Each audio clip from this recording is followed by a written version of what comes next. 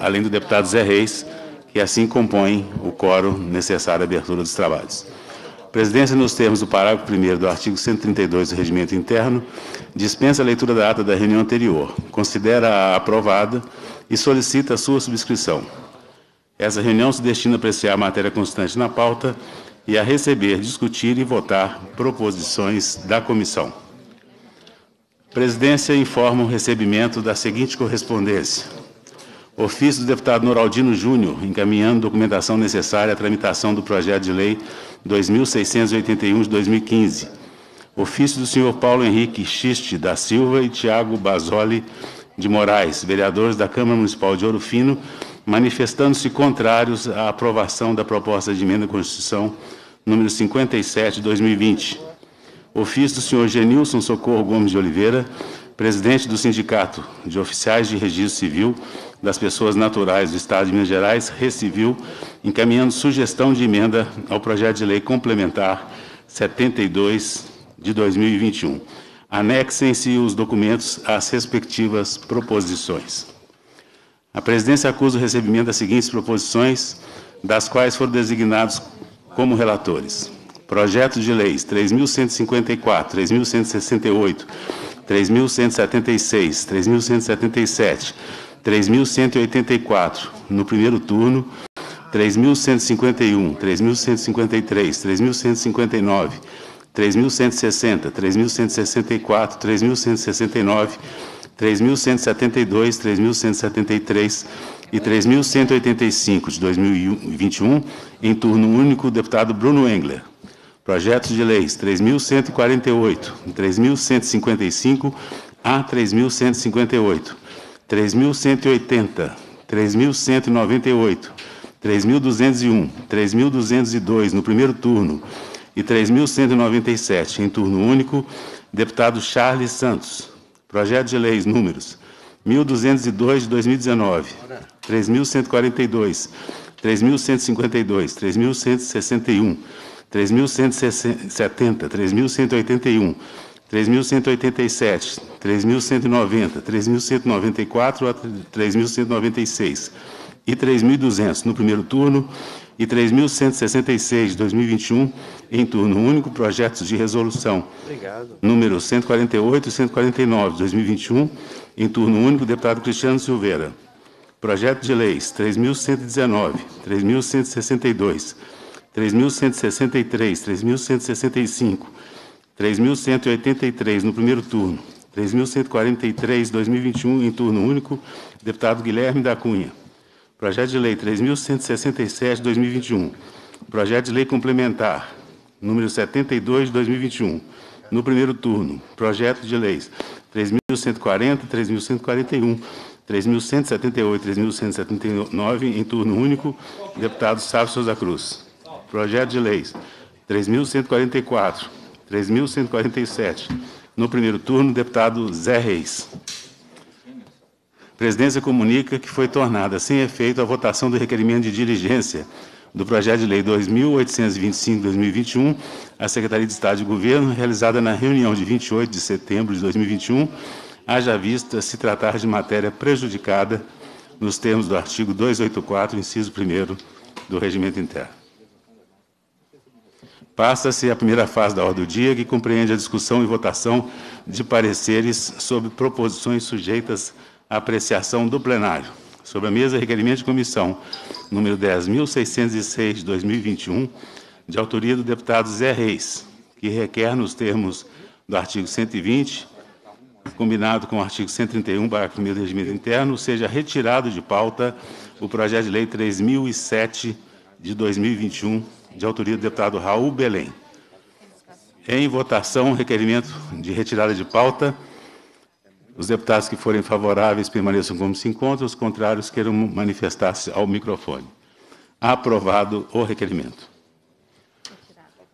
Requerimento em comissão, ainda sem número, de autoria do deputado Guilherme da Cunha, que requer, nos termos regimentais, a retirada de pauta do projeto de resolução 148 de 2021. Em votação, o requerimento. Os deputados que forem favoráveis à aprovação do requerimento queiram permanecer como se encontram. Os contrários. Contrário, deputado Cristiano. Quer encaminhar, deputado?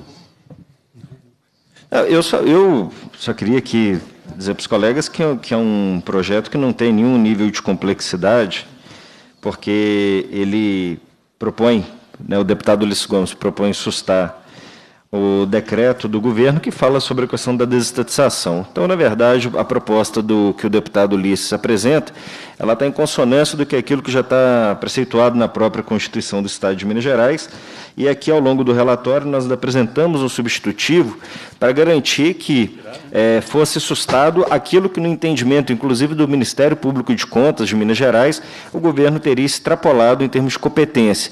E o resto, no âmbito do decreto, está preservado. Então, a oportunidade da gente fazer a leitura do, do relatório seria pertinente para os membros da comissão terem conhecimento do nosso parecer. Continue em processo de votação. Indago ao autor se quer encaminhar. Os deputados contrários queiram manifestar-se. Aprovado com o voto contrário do deputado Cristiano Silveira. Requerimento de autoria do deputado Charles Santos, que requer que seja apreciado em último lugar na pauta o projeto 1345 de 2019. Em discussão o requerimento. Em votação, os deputados favoráveis permaneçam como se encontram Aprovado o requerimento. Com as mudanças introduzidas na sequência da pauta, em razão dos requerimentos aprovados, vamos dar início pelo projeto de lei complementar 53/2021, de autoria da deputada Beatriz Cerqueira. Na, em reunião anterior foi adiada a discussão do parecer pela juridicidade, constitucionalidade e legalidade na forma do substitutivo número 1. Continua em discussão. Senhor presidente, para discutir. Para discutir, acho que eu ouvi primeiro o deputado Guilherme da Cunha.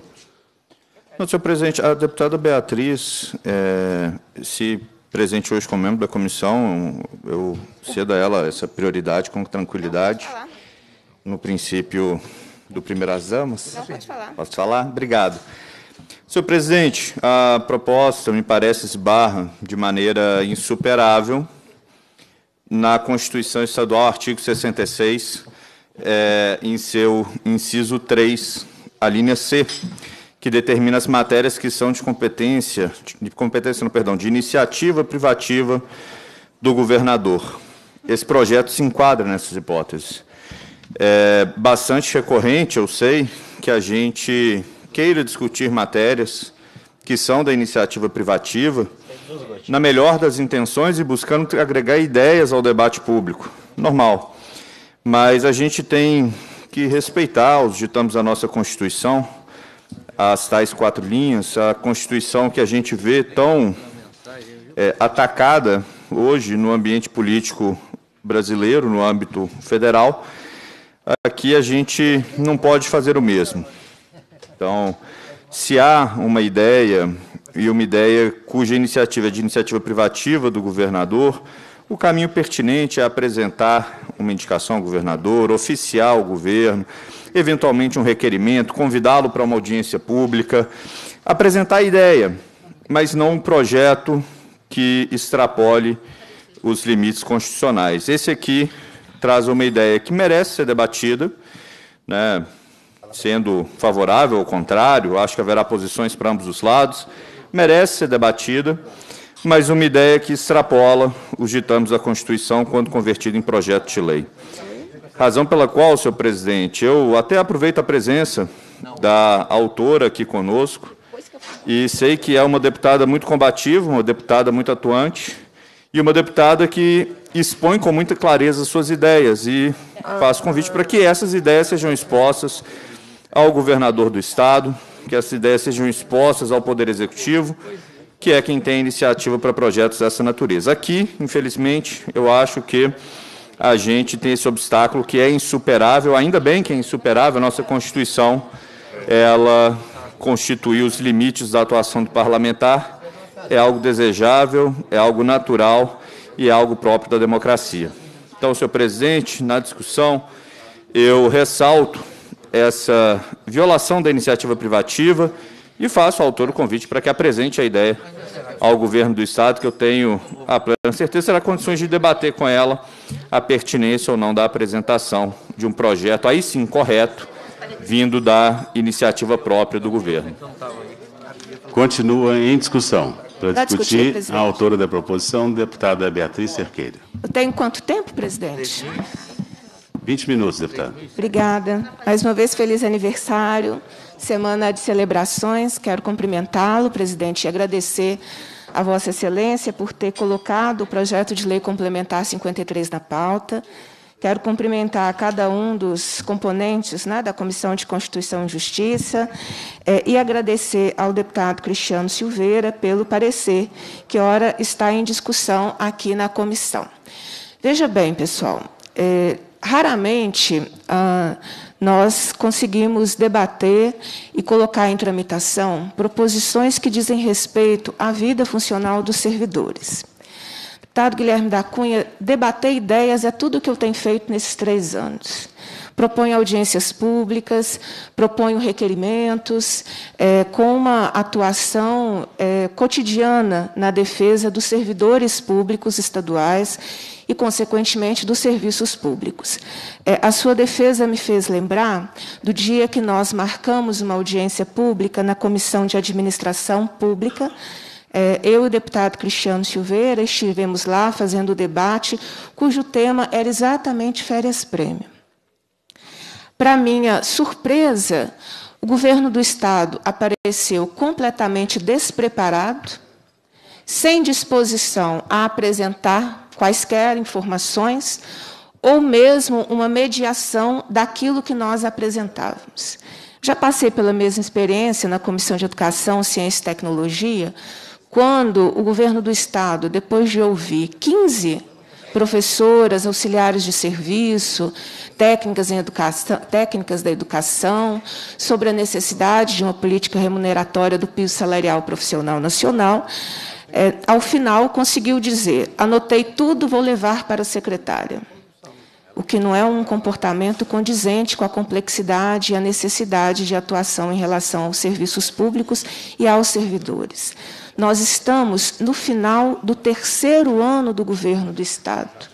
Lamentavelmente, a nossa nosso balanço de negociação com o governo do Estado, das entidades representativas do funcionalismo, é péssima.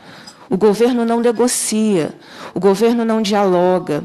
O governo, inclusive, está com a, com a discussão para não receber a do Montes e a, e a do ENG, que são entidades que representam os professores universitários, dizendo que o governo não recebe entidade sindical. Então, todas essas tratativas da, da, ideia, do diálogo, das discussões, elas estão sendo travadas há três anos, no mínimo né? terceiro ano do, do, atual governo do Estado. No entanto, acho que é papel nosso, enquanto legislativo, estabelecer algumas regras para que nós não tenhamos situações como a de uma professora que ontem conversava comigo e, em função do constante atraso que o governo do Estado tem em lhe pagar direitos, ela teve uma defasagem na avaliação dela de 14 mil reais entre aquilo que ela teria direito atualizado e o que de fato o Estado está pagando. Hoje, uma professora, uma auxiliar de enfermagem, uma professora universitária receber férias-prêmio de 2013, de 2014, porque ainda há esse resquício, significa a professora ou quaisquer outros setores, eu falo professora porque é a minha é a minha profissão, e eu sei o salário de uma professora, e eu sei o que significa viver com o salário de uma professora, de forma extremamente defasada. É, o governo Zema teve quase, represou, ele sozinho, quase 2 mil pedidos de direito de férias-prêmio pagos em espécie. Não tem critério, não tem calendário, não tem cronograma, as pessoas morrem antes de receber um direito que só foi adquirido depois de trabalhar a vida inteira dentro de uma sala de aula ou em qualquer outro local da administração pública. A ausência de normas faz com que o governo atue como quer. Eu não consigo compreender como é que um policial militar que entra para a reforma, no mês seguinte, recebe todos os seus direitos. E como é que a professora demora 10 anos, 15 anos para receber o mesmo direito? Há uma desigualdade absurda na garantia e no reconhecimento do direito. O que, que o projeto de lei complementar 53 propõe? E ele foi resultado de um processo que a, a os servidores públicos procuravam o gabinete, como acredito que procuram todos os gabinetes aqui dos deputados e deputadas da Assembleia, reclamando da morosidade do pagamento, demorando da falta de perspectiva, de cronograma, de planejamento, questões que são básicas numa administração pública. A ausência desse cronograma, de um planejamento, de respostas quando o servidor vai à administração pública requerer o seu direito, é inaceitável porque foi algo que ele adquiriu. Então, esse projeto de lei complementar ele foi pensado para dar essa resposta. Nós não estamos mexendo nos valores, nós não estamos aqui discutindo valores. O que nós estamos tentando, pedindo para que seja estabelecido, é uma regra para que quando a pessoa se aposenta, ela saiba que em até seis meses da sua aposentadoria, porque para ela aposentar ainda teve um ato anterior, que foi o afastamento preliminar para aposentadoria, depois do afastamento preliminar para aposentadoria, que também não tem regra de em quanto tempo, depois do, do, afastamento preliminar, a publicação da aposentadoria sairá. Também não tem regra para isso. Então, eu conheço professores que estão tá três, quatro, três anos, né? no caso do governo Zema, o governo Zema parou de é, publicar aposentadorias para não ter que incorporar um abono de 153 reais no contra-cheque das professoras. Então, tem quase três anos, inclusive, que não se, não se faz a publicação de aposentadoria. Mas, do afastamento preliminar da aposentadoria, à publicação da aposentadoria, e a partir do momento que publica a aposentadoria, um prazo de forma que o governo saiba que em seis meses ele precisa cumprir aquilo que é direito daquela pessoa que se aposentou ao receber férias-prêmio. Pagamento de férias-prêmio em espécie não é para todo o funcionalismo. É? Isso já teve uma alteração na legislação e existe um, um, corte temporal. Nem todos os servidores efetivos do Estado, de quaisquer carreiras, hoje vão adquirir o direito de receber férias-prêmio é, quando se aposentarem. Então, é um grupo cada vez mais restrito, que está cada vez diminuindo, porque o direito não alcança a maior parte hoje dos servidores efetivos, mas para aqueles que alcança é preciso ter um cronograma, é preciso ter um planejamento, é preciso que o Estado tenha uma regra e não decida a hora que ele quer fazer, porque a hora que ele quer fazer, várias professoras já morreram sem receber férias-prêmio. Outras tantas buscam receber para custear os seus tratamentos de saúde numa situação que ela deveria agora é, deveria ter o seu momento de descanso, depois de, de dedicar uma vida à administração pública, ela agora precisa cuidar, lutar contra uma doença, e esse dinheiro está lhe fazendo falta. Não sei se você sabe, mas a, a, maioria do funcionalismo e a maioria da educação é constituída por mulheres. E nós, mulheres, assumimos a boa parte da manutenção e despesas não só da nossa casa, mas do nosso núcleo familiar. Então, esse dinheiro que em outros tempos poderia ser de fato um prêmio, hoje é para custear tratamento de saúde, é para custear questões estruturais da família que a pessoa trabalhou a vida inteira para adquirir esse direito que o Estado não quer ter prazo para o pagamento. Então, esse é o, esse é o conteúdo do projeto de lei complementar. Acho que ele é muito simples, muito prático, no sentido que o governador, governo, quaisquer governos, quaisquer governadores, passem a ter prazo. Se nós tivéssemos essa regra antes, hoje nós não teríamos 22 mil pessoas esperando para receber um direito que ela adquiriu, ou entre essas 22 mil pessoas, vários, é, vários filhos, maridos, né, daquela servidora que já morreu, sem ter o reconhecimento o pagamento desse direito. Se nós tivéssemos uma regra, nós não estaremos enfrentando situações tão absurdas, porque aí 22 mil pessoas geram um volume considerável de recursos. Mas se você tem uma regra permanente, o que força o governo a permanentemente cuidar desse direito e não colocar esse direito no limbo, porque é isso que acontece no serviço público. Direito à carreira, o direito à progressão, vários direitos são colocados no limbo para quando o governo decidir pagar, ele paga, não paga retroativo, não reconhece direito dessas pessoas. Então, sim, gente, a situação de servidor público é uma situação que está muito difícil. E esse projeto de lei, ele não acrescenta remuneração, não aumenta despesas ao Estado, só estabelece um planejamento de modo que é, o Estado saiba que, quando aquela pessoa aposentar, o Estado precisa fazer a sua previsão de que, em até seis meses, ele terá que custear aquilo que a pessoa passou a vida inteira para adquirir esse direito. Então, eu, eu acho que é uma proposta extremamente é, prática, contribui para que o Estado tenha um planejamento e um cronograma, responde de uma forma, aqui pela Assembleia Legislativa, a uma demanda que é de milhares de servidores.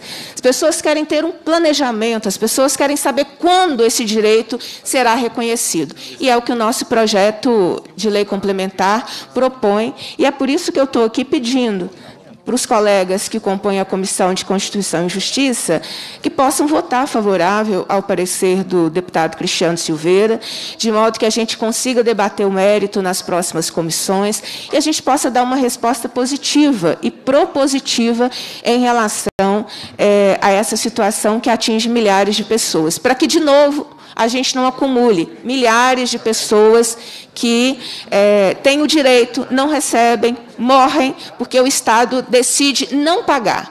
E a questão que eu chamo a atenção é que o Estado não decide pagar determinadas carreiras do funcionalismo, porque outras, no mês seguinte, recebem os seus direitos. Então, é deputado Sávio, que é o nosso presidente aqui da comissão, deputado Charles Santos, que é o nosso vice-presidente, deputado Glaicon, deputado Zé Reis, deputado Guilherme.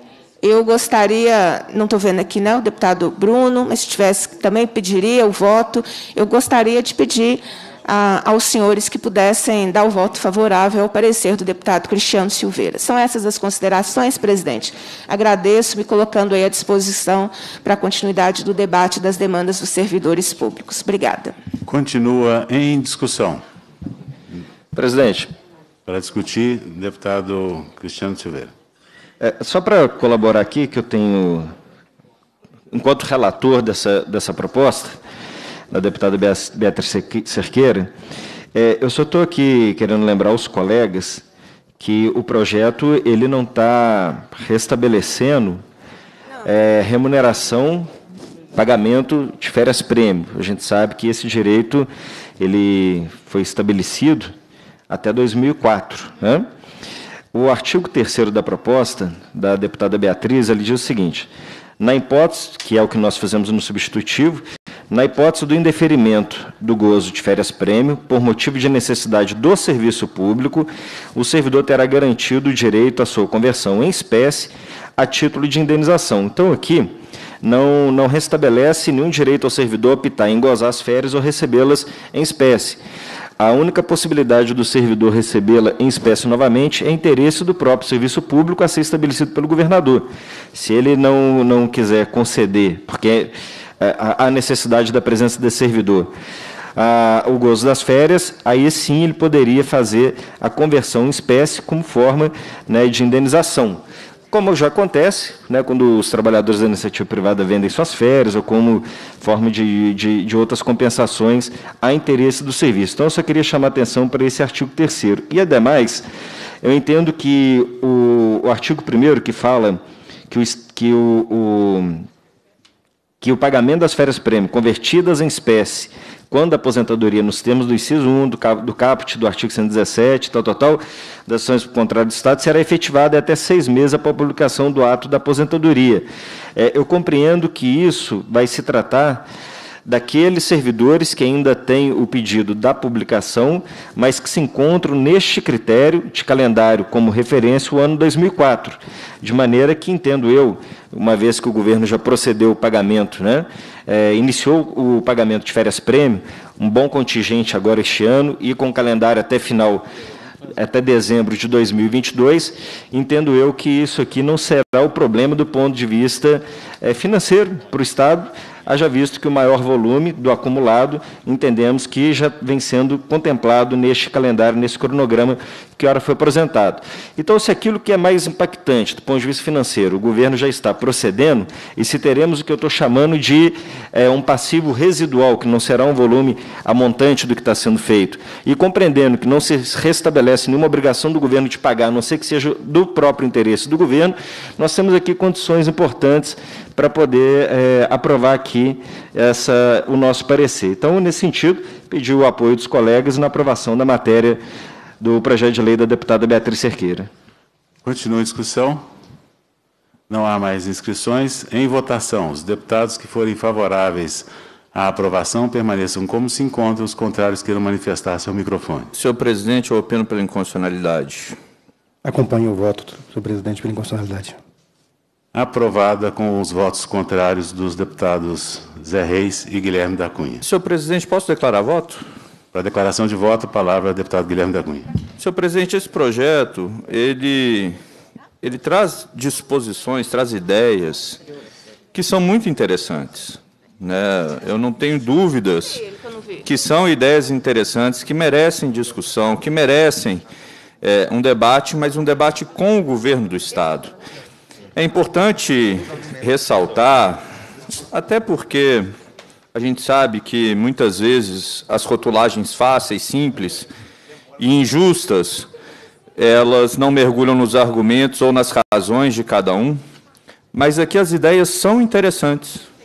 O grande problema é o obstáculo formal que a Constituição do Estado estabelece. E eu acho muito perigoso o caminho, presidente, da gente começar a escolher quais regras constitucionais vamos respeitar, quais vamos descumprir, com base no quanto nos interessa ou não uma determinada ideia em discussão. Porque se esse é o caminho, a Constituição vira letra morta. E se a Constituição vira letra morta, a gente tem uma ditadura da maioria. Essa é a realidade. A Constituição serve, em última instância, como a trincheira de proteção das minorias, contra o arbítrio da maioria que pode formar consensos, pode aprovar quaisquer projetos que assim desejar.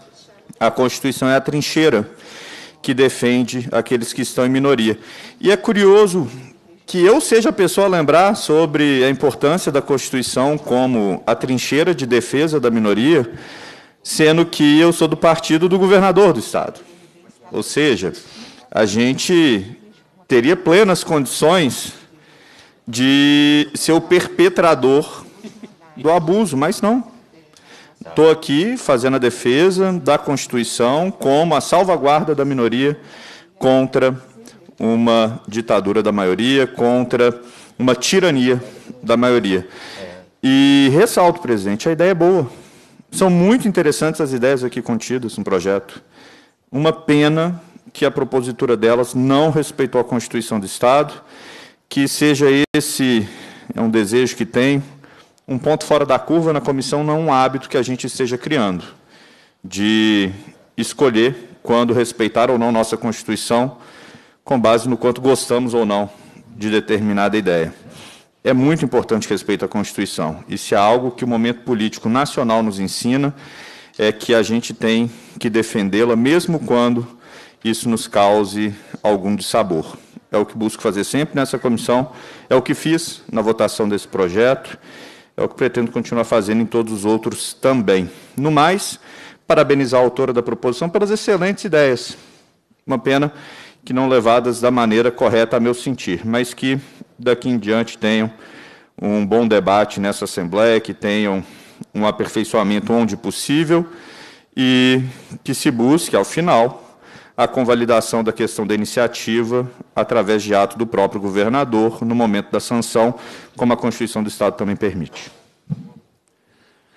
Projeto de Lei 2.993 de 2021, em primeiro turno, de autoria do deputado Coronel Henrique. O relator é o deputado Zé Reis. Em reunião anterior, foi concedida a vista do parecer pela juridicidade, constitucionalidade e legalidade na forma de substitutivo número 1. Continua em discussão. Presidente, para discutir, deputado Cristiano Silveira. Eu queria sugerir aqui à comissão que nós pudéssemos aprovar um requerimento para que o projeto pudesse ser baixado em diligência para a Secretaria de Estado de Fazenda, para informações sobre a viabilidade de aplicar a isenção e o impacto. É, eu só queria aqui é, relembrar aos colegas por que, que isso seria importante. Porque a proposição ela busca veicular a concessão do benefício fiscal de CMS, que nos termos do artigo 155, parágrafo 2 dos incisos 6 e 12 da Constituição da República, demanda a prévia celebração de convênio no âmbito do Conselho Nacional de Política Fazendária, o CONFAS. No mesmo sentido, a gente tem a Lei Complementar 24, de 1975, recepcionada pela Ordem Jurídica Constitucional, instaurada em outubro de 88, a qual exige, para concessão do benefício fiscal referido no projeto de lei análise, convênio celebrado pela totalidade das unidades federativas presentes à reunião do CONFAS, convocada para tal fim. Lembro também, presidente, que o STF tem jurisprudência consolidada no sentido de que é preciso celebração de convênio no CONFAS para que sejam efetivadas as isenções do CMS. Exemplo disso foram as negativas no âmbito do Recomeça Minas, quando o CONFAS cancelou diversos benefícios fiscais que a Assembleia havia aprovado sob a justificativa de que não havia celebração de convênio. Além disso, o projeto não indicou a compensação orçamentária, os valores que o Estado perderá de renúncia fiscal com a medida e não serão repostos com outras ações, principalmente porque essa isenção não beneficia economicamente o Estado, ajudando cadeias produtivas ou empresários. Então, é, aqui nós temos uma questão que trata dessa celebração de convênio com o CONFAS, tivemos aqui uns precedentes onde não foi possível estabelecer qualquer tipo de benefício é, nos mesmos moldes, e seria então recomendável que a Secretaria de Estado de Fazenda pudesse se pronunciar a respeito da proposição apresentada pelo deputado Coronel Henrique. Então, eu apresento aqui um requerimento para que pudesse ser baixado em diligência. Pela ordem, presidente. Continua em discussão. Para discutir, deputado Zé Reis. Senhor presidente, com todo respeito a que tenho ao nosso colega Cristiano, o requerimento não carece, não prosperar, até porque tive o cuidado, como relator desse projeto do amigo Coronel Henrique, de deixar bem claro no seu artigo 1 e aqui irei repetir, que fica o Poder Executivo autorizado na forma, no prazo e nas condições previstas em regulamento. E, e desde que haja autorização em convênio celebrado e ratificado pelo Estado. Ou seja, nós estamos apenas limitando a uma, autorizar o Executivo, entretanto, os trâmites né, de competência de Confas e competência da Secretaria, só efetivamente essa lei entrará em vigor, a sua eficácia efetivamente, com o seu trâmite e com a sua autorização de convênio celebrado e ratificado pelo Estado. Portanto, vejo como relator a não necessidade né, desse requerimento, né, uma vez que as demais questões serão apuradas lá na comissão de mérito, por hora FFO. Como a preocupação manifestada pelo deputado Cristiano Silveira está contemplada no relatório do deputado Zé Reis, indaga o deputado Cristiano se abre mão do requerimento. Eu retiro o requerimento, presidente. Era, a preocupação está contemplada no parecer. Em votação, o parecer. Os deputados que forem favoráveis permaneçam como se encontram, os contrários queiram manifestar seu microfone. Aprovado o parecer. Projeto de Lei 3008 de 2021, de autoria do deputado Charles Santos. O relator é ex-presidente. Em reunião anterior, foi concedida a vista do parecer pela juridicidade, constitucionalidade e legalidade na forma do substitutivo número 1. Continua em discussão. Senhor presidente, qual o projeto, por gentileza? 3008, de 2021. De autoria do deputado Charles Santos.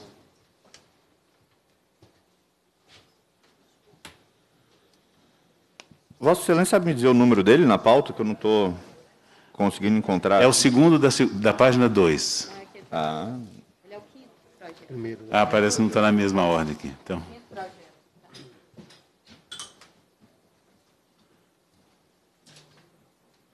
Da pauta.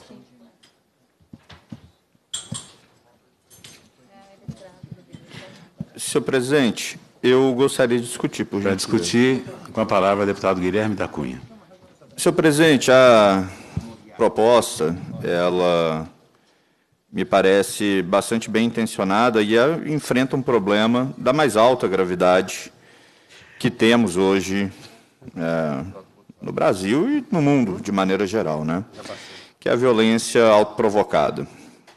Sendo muito explícito nas palavras, é automutilação e suicídio. E a gente tem um número considerável de pessoas passando por essas dificuldades na vida, por esses problemas, muitas vezes sem encontrar é, meios que as ajudem a reconhecer o problema e encontrar uma saída.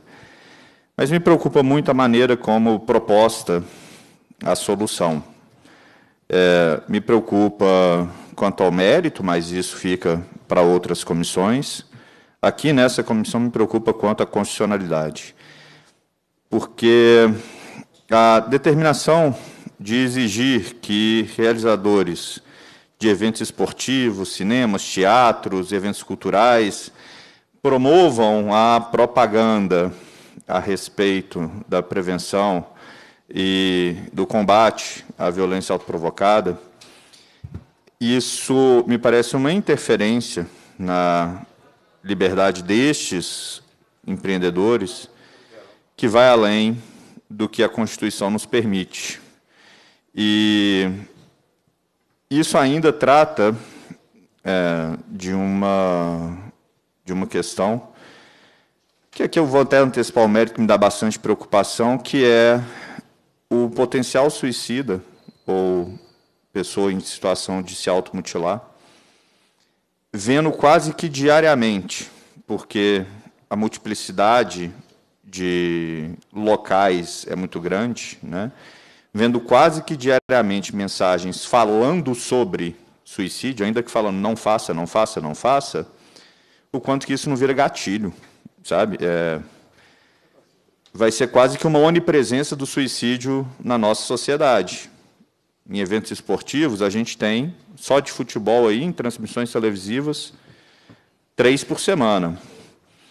A gente vai ter isso em cinemas, em teatros, a gente vai ter isso em uma diversidade de eventos culturais, a gente vai ter uma onipresença do suicídio sendo falado na nossa sociedade, ainda que dizendo não faça isso. E sobre essa questão, eu gosto muito de propor até uma provocação aos colegas. Eu vou pedir a cada um que, por gentileza, não pense em um elefante. E, dito isso, indago quem que, diante desse pedido, não pensou sequer minimamente, por um segundo que fosse, em um elefante.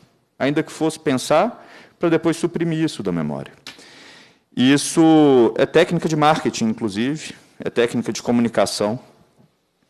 E isso acaba fazendo com que a mensagem colhe, que ela fique grudada na cabeça da pessoa, pela inevitabilidade de se pensar naquilo que se pede para não se pensar. Mas, de toda forma, voltando ao aspecto constitucional, me parece uma interferência além dos limites constitucionais na liberdade e na livre iniciativa desses empreendedores, obrigá-los a esse tipo de publicidade, como também me parece que a obrigatoriedade aos, eh, ao governo do Estado de realizar campanhas descendo a um nível eh, de detalhamento e de impositividade também escaparia a separação de poderes e as competências que essa Assembleia teria de propor normas gerais, genéricas, e não programas específicos de comunicação para o governo. Dito isso, senhor presidente, eu gostaria de propor uma emenda modificativa em que, ao artigo 1 do substitutivo, se desse a redação de o Estado de Minas Gerais incentivará a veiculação de campanhas de conscientização da violência autoprovocada, contendo informações sobre os serviços prestados pelos Centros de Valorização da Vida, CVVs, por meio do DISC 188, em locais de realização de eventos esportivos em salas de cinema, teatros e afins.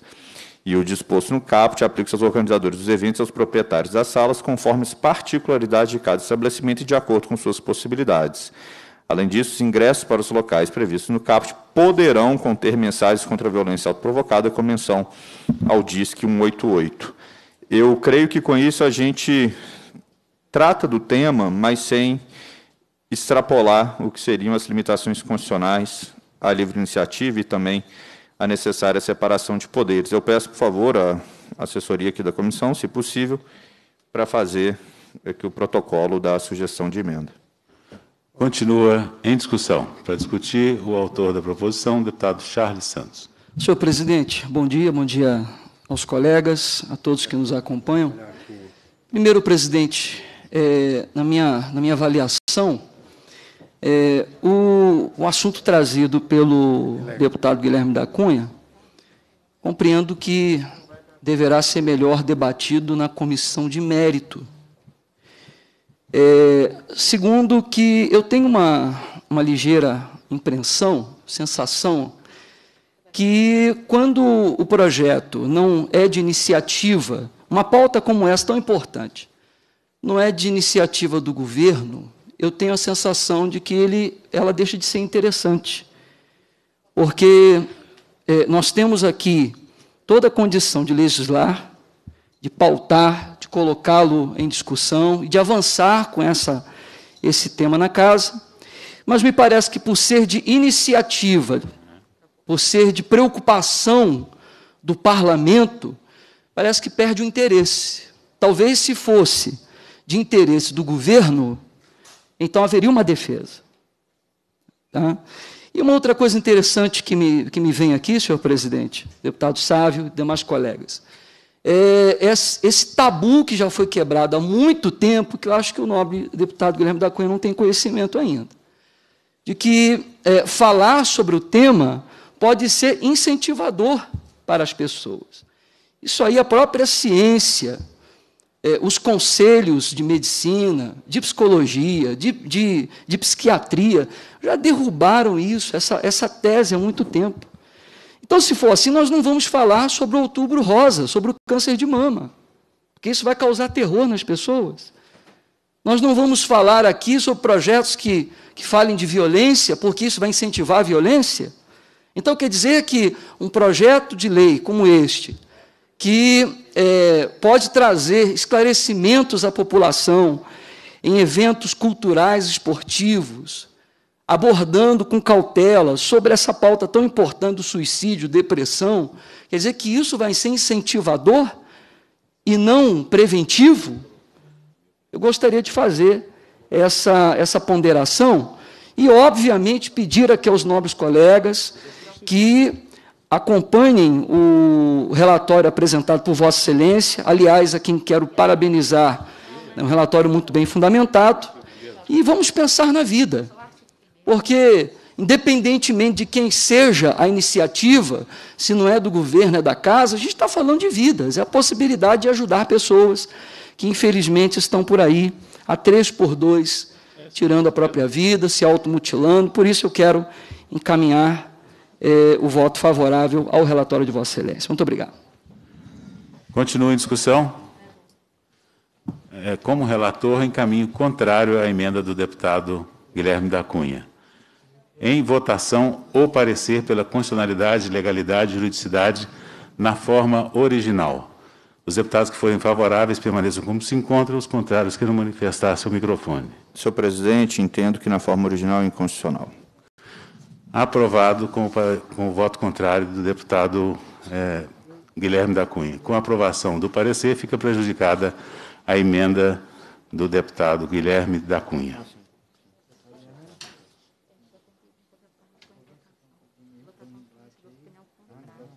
Mas não precisa. É a mesma coisa, só tem. Nós vamos colocar em votação. Só a cláusula de vigência? Isso não existe. Projeto de Lei 2289 de 2015 institui o Dia do Terço dos Homens ser comemorado anualmente dia 8 de setembro. O autor o deputado Bosco, o relator o deputado Guilherme da Cunha, a quem passa a palavra para apresentar a ação do parecer. Parecer para o turno único do projeto de lei 2289 de 2015, de autoria do deputado Bosco, o projeto institui o Dia do Terço dos Homens a ser comemorado anualmente em 8 de setembro. Postulado constitucional que orienta a distribuição de competência entre as entidades que compõem o Estado Federativo é a predominância do interesse. Nessa perspectiva, a União compete legislar sobre as questões de predominante interesse nacional, previstas no artigo 22 da Constituição da República, aos Estados sobre as de interesse predominantemente regional, e, por fim, aos municípios sobre os assuntos de interesse local, conforme artigo 30, inciso 1 da Constituição da República. Ademais, até o parágrafo 1 do artigo 25, são reservadas aos Estados as competências que não lhes sejam vedadas pela Constituição.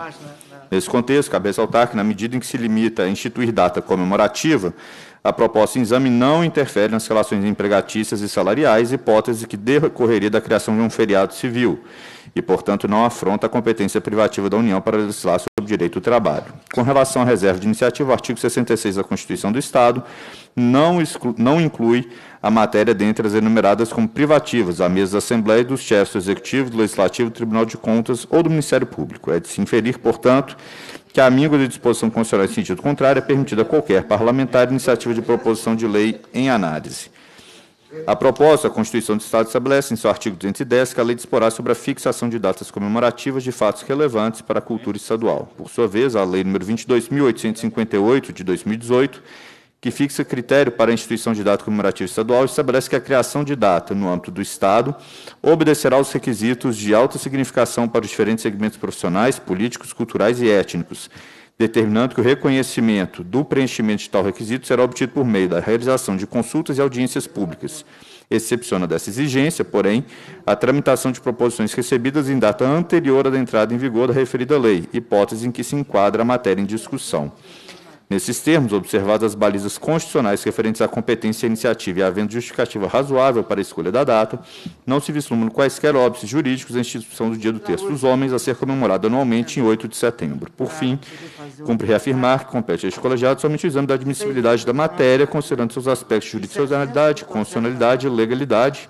Desse modo, a comissão relacionada ao mérito caberá a análise e estudo dos aspectos de oportunidade e adequação da proposição. Em face do exposto, concluímos pela juridicidade, constitucionalidade e legalidade do projeto de lei número 2289 de 2015 na forma apresentada.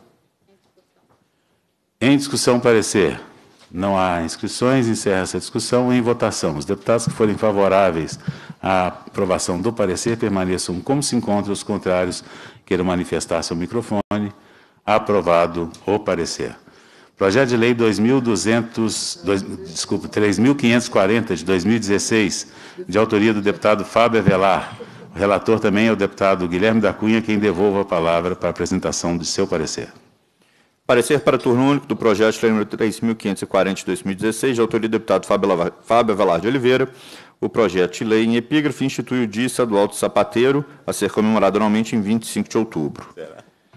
É, pelas mesmas razões expostas no parecer anterior, senhor presidente, é, concluímos pela juridicidade, constitucionalidade e legalidade do projeto de lei número 3.540 de 2016. Em discussão, parecer. Não há inscrições, encerra essa discussão. Em votação, os deputados favoráveis queiram permanecer como se encontram, os contrários manifestarem-se ao microfone.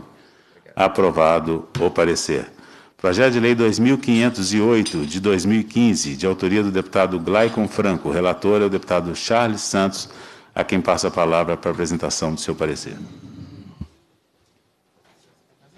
Obrigado, presidente. De autoria do deputado Glaicon Franco, a quem cumprimento, caro colega aqui de CCJ. O projeto de lei 2508 de 2015 pretende autorizar o Poder Executivo a instituir no Estado a campanha anual de combate à violência e à exploração contra criança, crianças e adolescentes. De plano, analisa-se que a proposição encarta-se na competência legislativa otorgada é, ao Estado membro pela Constituição Federal de, 98, de 88. Com efeito, segundo o disposto no artigo 24, inciso 4 da Carta República, da Carta da, da, República, cabe ao Estado federado legislar concorrentemente com a União sobre educação, cultura e desporto. Assim, conclui-se pela competência material do Estado membro para versar sobre o tema tratado na proposição em análise. Entretanto, a elaboração e a execução de campanha plano ou programa administrativo são atividades inseridas no rol de atribuição do Poder Legislativo, detentor da competência constitucional para realizar tais ações do governo. Assim, para afastar os vícios de inconstitucionalidade, dos quais a proposição padece, apresentamos ao final do parecer o substitutivo número 1, para estabelecer diretrizes para o enfrentamento da violência contra a criança e o adolescente no Estado. Em face do exposto, concluímos, senhor presidente, caros colegas, pela constitucionalidade, legalidade e juridicidade do projeto de lei 2508 de 2015, na forma do substitutivo a ser apresentado. Substitutivo número 1. Um, dispõe sobre o enfrentamento da violência contra criança e adolescente no Estado. A Assembleia Legislativa do Estado de Minas Gerais decreta, artigo 1 são diretrizes para o enfrentamento à violência contra criança e adolescente no Estado. Inciso 1. Esclarecimento dos responsáveis das crianças e dos adolescentes sobre, o direito, sobre os direitos estabelecidos na Lei Federal 8.069, de 13 de julho de 1990. Inciso 2. Desenvolvimento de ações para inibir a cultura da violência. 3.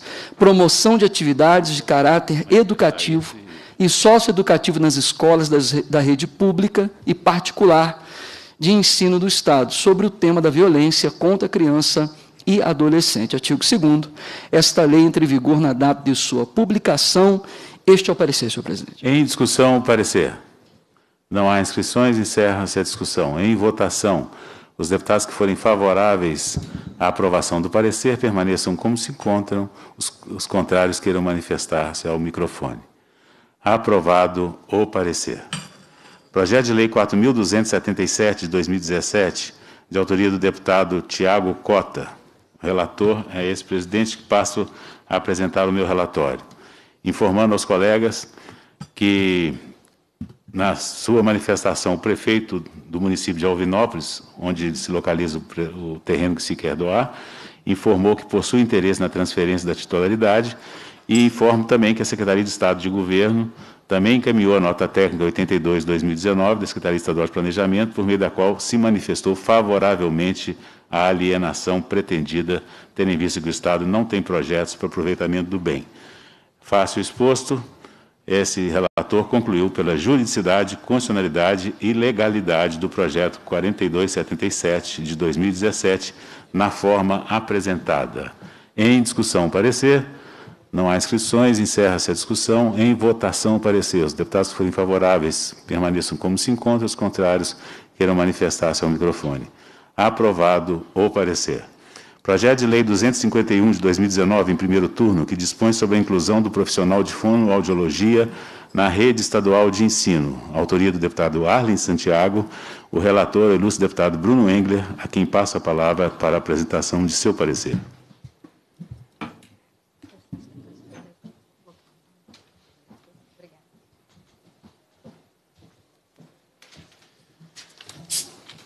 De autoria do deputado Arlen Santiago, a proposição em epígrafe dispõe sobre a inclusão do profissional de fonoaudiologia na rede estadual de ensino.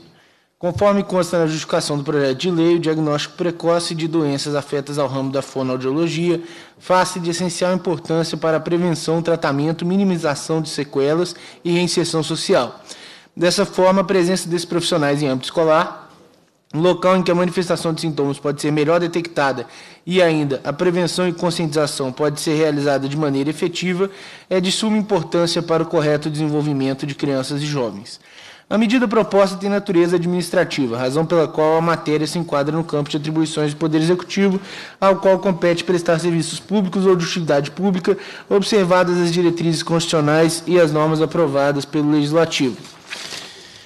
Ressalte-se que a atividade legislativa opera no plano da abstração e da generalidade, não podendo avançar ao ponto de minudenciar a ação executiva, pois isso esvaziaria a atuação institucional do executivo e contraria o princípio constitucional da separação de poderes. No entanto, tendo em vista a relevância da matéria e o direito à saúde, confito de preservar a essência da proposição nos termos do artigo 24, inciso 9 e 12 da Constituição da República, apresentamos o substitutivo número 1 com a finalidade de inserir na Lei 16.077 de 2006 a medida prevista no projeto, ampliando o objeto da citada lei. Por fim, esclarecemos que tal substitutivo ainda pode ser aprimorado pela Comissão de Mérito. Diante do exposto, somos pela aprovação do projeto de lei 251-2019 na forma do substitutivo número 1 a seguir apresentado. Substitutivo número 1. Altera a Lei 16.077, de 26 de abril de 2006, que institui a Política Estadual de Saúde Vocal. Assembleia Legislativa do Estado de Minas Gerais decreta. Artigo 1 O artigo 1 da Lei 16.077, de 26 de abril de 2006, passa a vigorar com a seguinte redação. Artigo 1 Fica instituída a Política Estadual de Saúde Vocal, que tem por objetivo a prevenção das patologias fonoaudiológicas em professores e alunos da rede estadual de ensino. Artigo 2 O caput da, do, o artigo 2 da Lei 16.077 de 2006 passa a vigorar com a seguinte redação, ficando acrescentado ao artigo seguinte, inciso 5 Artigo 2 A política estadual de saúde vocal e auditiva abrangerá o incentivo para a contratação do profissional de fonoaudiologia para identificação precoce e prevenção das patologias fonoaudiológicas em professores e alunos. Artigo 3 Artigo 3 da Lei 16.077 de 2006 passa a vigorar com a seguinte redação. Artigo 3 A política estadual de saúde vocal e auditiva será implementada segundo diretrizes estabelecidas em regulamento. Artigo 4 A emenda da Lei 16.077 de 2006 passa a ser institui a política estadual de saúde vocal e auditiva voltada para os professores e alunos da rede estadual de ensino. Artigo 5 esta lei entra em vigor na data de sua publicação. Deixa eu parecer, senhor presidente. Em discussão, parecer. Não há inscrições. Encerra essa discussão. Em votação, os deputados favoráveis permaneçam como se encontram. Os contrários queiram manifestar seu microfone. Aprovado o parecer. Projeto de Lei 947 de 2019, de autoria do deputado Bosco. O relator é o deputado Guilherme da Cunha a quem passo a palavra para a apresentação do seu parecer.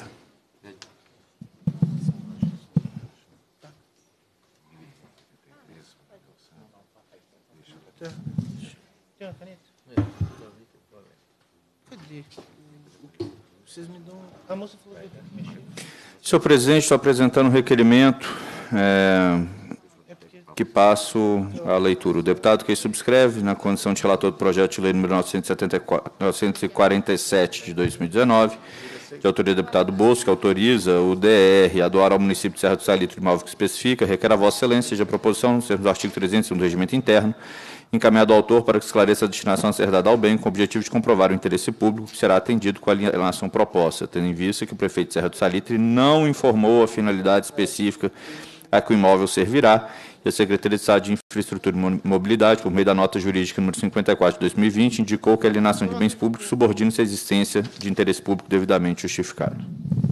Em votação, requerimento de diligência, os deputados favoráveis permaneçam como se encontram, os contrários querem manifestar seu microfone. Aprovado o requerimento. Projeto de Lei 1083 de 2019, em primeiro turno, o autor é o ilustre deputado Coronel Sandro, relator deputado Guilherme da Cunha, quem retorna a palavra para a apresentação do seu parecer. Parecer para o primeiro turno do projeto de lei número 1083 de 2019, de autoria do deputado Coronel Sandro, o projeto de lei número 1083 de 2019 determina que o processo seletivo para ingresso em ensino público superior estadual em Minas Gerais terá como etapa obrigatória a realização de exame toxicológico e que a renovação da matrícula dos estudantes dependerá da realização de exame toxicológico anualmente. A proposição visa obrigar as instituições de ensino superior público e estadual a exigirem dos discentes, nos processos seletivos para ingresso na graduação e pós-graduação, a comprovação de exame toxicológico. Além disso, determina que a renovação de matrícula dos discentes nessas instituições de educação dependerão da apresentação anual desse exame toxicológico. O projeto ainda estabelece que os exames citados deverão ser custeados pelos discentes e serão realizados em clínicas médicas cadastradas na Secretaria de Estado de Saúde de Minas Gerais. Essa proposição trata de tema afeto à educação, que é matéria de natureza legislativa concorrente, nos termos do inciso 9 do artigo 24 da Constituição Federal. Entretanto, seu conteúdo afronta o direito à educação e limita o livre acesso às universidades estaduais, criando obstáculos para a fruição desse, que é um direito constitucional e restrito a todos.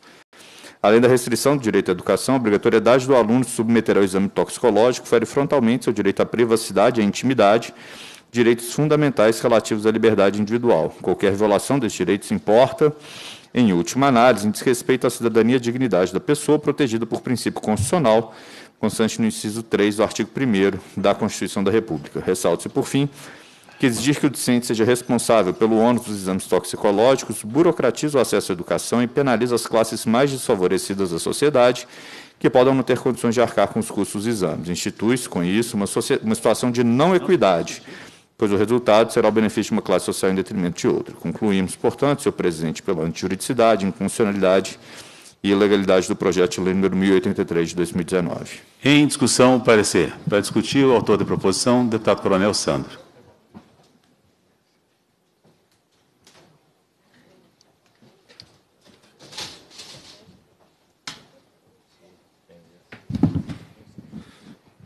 Senhor presidente, demais deputados presentes aqui, eu confesso que é a primeira vez que eu ouço falar que a Constituição protege o direito de alguém fumar maconha ou usar cocaína dentro do, de, de escola, dentro de estabelecimento. A Constituição que eu conheço, que faço questão de seguir, eu sei que ela protege a saúde das pessoas, segurança, liberdade.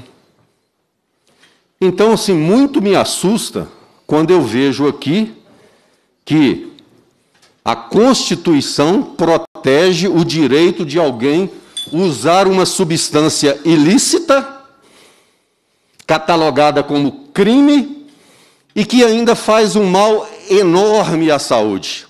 E para piorar ainda, pessoas que têm uma dádiva do Estado, porque hoje ter um curso superior custeado pelo poder público é uma dádiva, é um presente.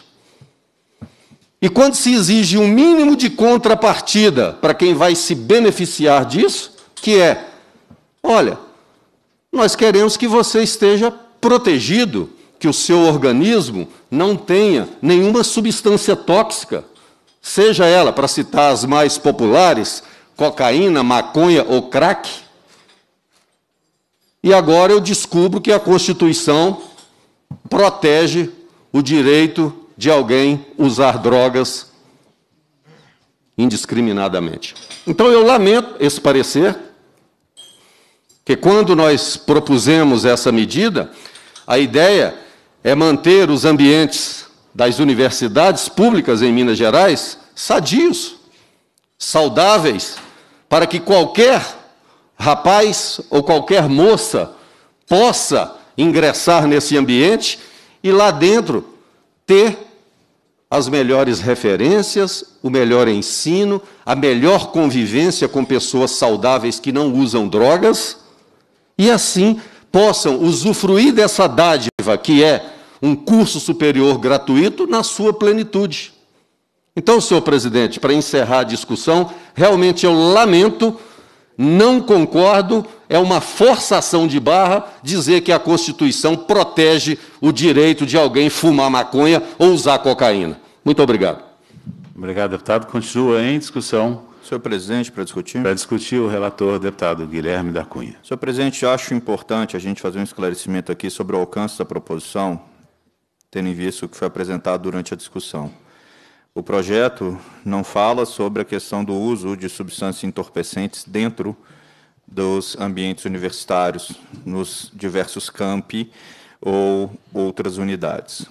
Trata sobre exame toxicológico, que, feito de maneira anual, busca encontrar vestígios de substância que a pessoa pode ter utilizado em sua residência, em viagem a algum país para o qual o uso é permitido, diversas maneiras que isso pode acontecer, e maneiras que são próprias da vida privada desse estudante. Não trata aqui, como apresentado, de uma proteção constitucional à pessoa fumar um baseado ou cheirar uma carreira de cocaína dentro da universidade. Não é isso. É importante a gente salientar para ter o limite correto do debate. E quando a gente coloca a questão da privacidade, é que não compete à universidade, restringindo o acesso à educação, ser um elemento de é, política de combate ao crime, com essa substância sendo de uso proibido. A universidade é para educar as pessoas, a universidade é para produzir conhecimento para a sociedade. E esses requisitos de educação e de produção de conhecimento, eles não são aferidos através de exames toxicológicos. Esses requisitos de educação e produção de conhecimento são aferidos, devidamente medidos e devidamente avaliados para saber se a pessoa terá direito ao ingresso ou à matrícula, através de exames como o Enem, através das provas do curso, através dos trabalhos que o aluno é obrigado a entregar, através da presença às aulas que ele é obrigado a ter. Tudo isso permanece. Então, na parte educacional, está devidamente medido se o aluno está ou não em condições de continuar sendo componente dos quadros das universidades estaduais. O que se busca aqui, de certa maneira, é uma política de trabalhar as diversas instituições, e inicialmente aqui com as universidades, como mais peças num cenário de guerra às drogas existente no Brasil. Mas eu queria propor uma reflexão ao autor e também a todos os demais deputados. É, aqueles que eventualmente possam vir a discordar do parecer apresentado e entender que é inadmissível que um estudante possa frequentar a universidade estadual recebendo ensino custeado pela sociedade, porque nada é grátis, mas custeado pela sociedade, enquanto na sua hora de lazer, na sua residência ou qualquer outro lugar que seja, mas não estamos aqui falando das dependências da universidade, ele faz uso de substância entorpecente. Se é inadmissível que esse estudante faça uso da substância e continue estudante, Será que é admissível que alguém faça uso dessa substância e continue trabalhando nessa Assembleia, representando o povo, propondo e discutindo projetos de lei, proposições legislativas, orçamento do Estado? Se a ideia é realmente é, fazer um experimento para ver se essa moralização, digamos assim, e essa extensão da política de guerra às drogas para diversos outros órgãos é eficiente ou não, por que não começar com essa Assembleia? começar exigindo dos deputados que apresentem exame toxicológico para tomar posse, que apresentem exame toxicológico para ter seu mandato anualmente renovado, ou exigir isso dos assessores nos gabinetes, ou dos servidores que aqui acompanham nossos trabalhos. Se de fato existe essa preocupação e o que se busca é uma primeira experiência, comece dentro de casa. Comece, então, dentro dessa Assembleia, Começa pedindo para os colegas aqui fazerem xixi no potinho. Porque me parece que começar com os estudantes universitários é uma estereotipização muito negativa e muito injusta dos nossos estudantes. E não me parece muito claramente como isso se relaciona com a educação, tampouco como isso se relaciona a medidas de saúde, porque sequer se prevê o encaminhamento de eventuais estudantes com detecção de substâncias no toxicológico para acompanhamento de saúde. É simplesmente sua exclusão social, sua exclusão educacional, a vedação de que ele tenha caminhos prósperos e produtivos na vida. Em suma, é afundar a pessoa ainda mais. Senhor presidente, eu defendo a, a rigidez do parecer, pela inconstitucionalidade da proposição, e aos que acreditam que a gente precisa realmente dar esse passo e, portanto, discordam aqui do meu parecer, a sugestão que faço é que seja via um substitutivo que coloque como o experimento piloto esta Assembleia e cada um de seus deputados. Senhor presidente. Continua em discussão. Para discutir, o deputado Bruno Engler. Senhor presidente, eu achei interessante a fala do deputado Guilherme. Inclusive, tem um projeto de lei de minha autoria que estabelece justamente que para que o servidor público possa tomar posse e trabalhar para o Estado de Minas Gerais, ele apresente o exame toxicológico. Isso inclui deputados, membros do Judiciário, Ministério Público, assessores. Então, se esse é o posicionamento de Vossa Excelência, eu conto com apoio de Vossa Excelência, ao projeto que ainda nem foi pautado nessa comissão. Independente disso, é, não há de constitucionalidade no projeto do deputado Coronel Sandro, que a gente vê aqui é uma oposição ideológica do deputado Guilherme, que é legítima, mas que não cabe nessa comissão. Não há que se falar na garantia universal do direito à educação, porque a gente não oferece uma educação superior universal. O projeto do deputado Coronel Santos seria viciado se ele falasse aqui de ensino fundamental, ensino médio, que o Estado é obrigado, sim, a fornecer, sem distinção. O ensino superior, como bem colocou o deputado Coronel Sandro, é um privilégio que o contribuinte mineiro paga para alguns que têm critérios objetivos para ali estarem, critérios através de nota do Enem, critérios através de provas, critérios esses que são estabelecidos pelo Estado de Minas Gerais, e por que não? um desses critérios não ser o exame toxicológico. E aí, Vossa Excelência e todos os deputados podem achar um absurdo e podem votar contra no mérito. Agora, dizer que um critério objetivo por parte do Estado de Minas Gerais é cercear o direito à educação, Não faz o menor sentido. Mas que a gente, que a gente tenha uma oportunidade de se debruçar com mais tempo sobre esse projeto e voltar a discuti-lo aqui em outra oportunidade, eu vou pedir vista, senhor presidente. É regimental, fica concedida vistas do projeto ao deputado Bruno Engler.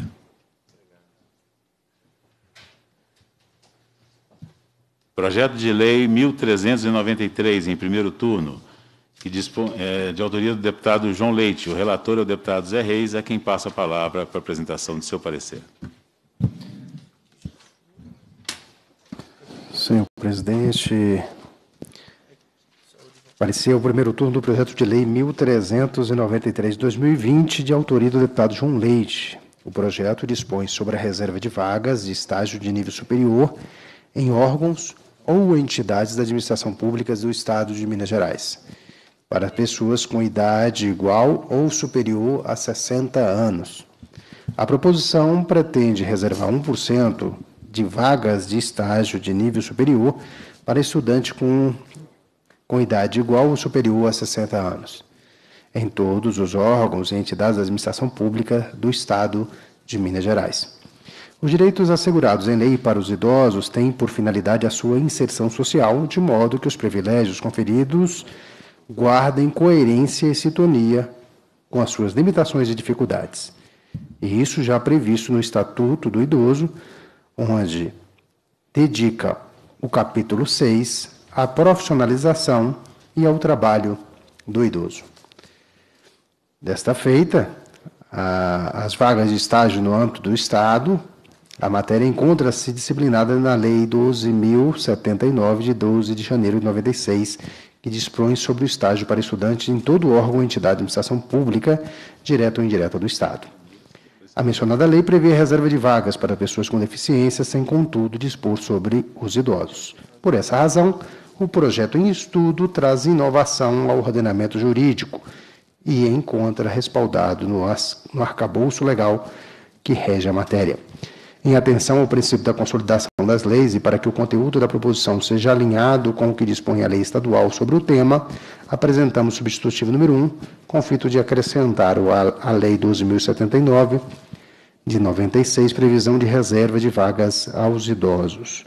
Concluímos assim, presidente, pela juridicidade, constitucionalidade e legalidade ao projeto de lei 1393 de 2020 na forma de substitutivo, substitutivo número 1. É o que temos. Em discussão, parecer. Não há inscrições, encerra essa discussão. Em votação, os deputados favoráveis permaneçam como se encontram, os contrários queiram manifestar seu microfone. Aprovado o parecer.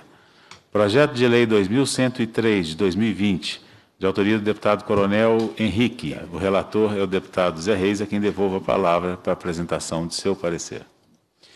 Obrigado, presidente. O projeto 2103 de 2020, que cria o Programa Estadual de Incentivo aos Consórcios Intermunicipais Agropecuários, denominado Programa Minas Forte, de autoria do dedicado e combativo deputado Coronel Henrique. O projeto em lei em análise visa criar o Programa Estadual Incentivo para os Consórcios Intermunicipais Agropecuários, denominados Programas Minas. Segundo o autor, a proposição tem como objetivo viabilizar, promover e fortalecer a articulação entre os municípios mineiros por meio de consórcios intermunicipais agropecuários para a gestão, geração de desenvolvimento e renda promoção da melhoria da qualidade e sanidade dos produtos agropecuários no Estado e ampliação dos mercados consumidores desses produtos. Feitas essas considerações, passamos ao exame da proposição sobre o aspecto de sua constitucionalidade formal. Nesse ponto, cumpre registrar que a matéria envolve inspeção sanitária e animal e é de competência comum entre a União, os Estados, o Distrito Federal e os municípios nos termos da Constituição Federal. Observamos também algum, que algumas das medidas que se pretende implementar são incompatíveis com o princípio de reserva de administração, decorrente da norma de separação dos poderes, na medida em que adentram matéria típica de administração cuja competência pertence ao Poder Executivo. Dessa maneira, para superar os óbices de natureza jurídica, constitucional, legal, à tramitação da matéria, julgamos oportuno a apresentação do substitutivo número 1, que visa aprimorar a proposição sobre tais aspectos. Ah, por fim, alertamos que a análise dos aspectos meritórios do projeto, assim como as suas implicações práticas, será feita em momento oportuno na comissão de mérito. Sendo assim, concluímos pela juridicidade, constitucionalidade e legalidade o projeto de lei 2103-2020, na forma do substitutivo número 1, presidente. Em discussão, parecer. Não há inscrições, encerra essa discussão. Em votação, os deputados favoráveis permaneçam como se encontram, os contrários queiram manifestar seu microfone. Está aprovado o parecer. Projeto de Lei 2418 de 2021 de autoria do deputado Gustavo Santana. O relator é o deputado Cristiano Silveira, a quem passo a palavra para a apresentação do seu parecer. Presidente, estou apresentando o requerimento para que seja baixada em diligência a Secretaria de Estado de Meio Ambiente para que preste informações a essa comissão. Em votação, requerimento de diligência apresentado pelo relator. Os deputados que forem favoráveis permaneçam como se encontram, os contrários queiram manifestar-se ao microfone. Aprovado o requerimento de diligência. Projeto de Lei 2578, de 2021, em primeiro turno, de autoria do deputado Antônio Carlos Arantes. O, deputado, o relator é o deputado Zé Reis, a quem passo a palavra para apresentação de parecer. Muito obrigado, presidente. O projeto 2578-2021, de autoria do deputado Antônio Carlos Arantes, que autoriza o Poder Executivo a doar ao município de Nepomucemo o imóvel que especifica. O projeto de lei autorizar o poder a doar ao município de Nepomuceno um imóvel com área de 4.320 metros quadrados, registrados na comarca, naquela comarca. A proposição estabelece que o bem destina ao funcionamento do Núcleo Educacional Dona Henriqueta Rafael de Menezes, projeto como Corumim. Determina ainda que o imóvel reverterá ao patrimônio do Estado se fim do prazo de três anos contados da lavratura da escritura pública de doação não lhe tiver dada a destinação assinalada. Em sua manifestação, o prefeito Nepomuceno informou o seu interesse, da mesma forma, a Secretaria de Estado, CEPLAG, manifestou favoravelmente a alienação pretendida. Assim, não vejo óbvio a tramitação da proposição em análise, porém apresento, no final deste parecer, o substitutivo número 1, dá nova redação dos artigos 1 e 2, com a finalidade de adequar o texto ao projeto à técnica legislativa. Sendo assim, concluímos pela juridicidade, constitucionalidade e legalidade ao projeto de lei 2578 de 2021, na forma do substitutivo número 1, presidente.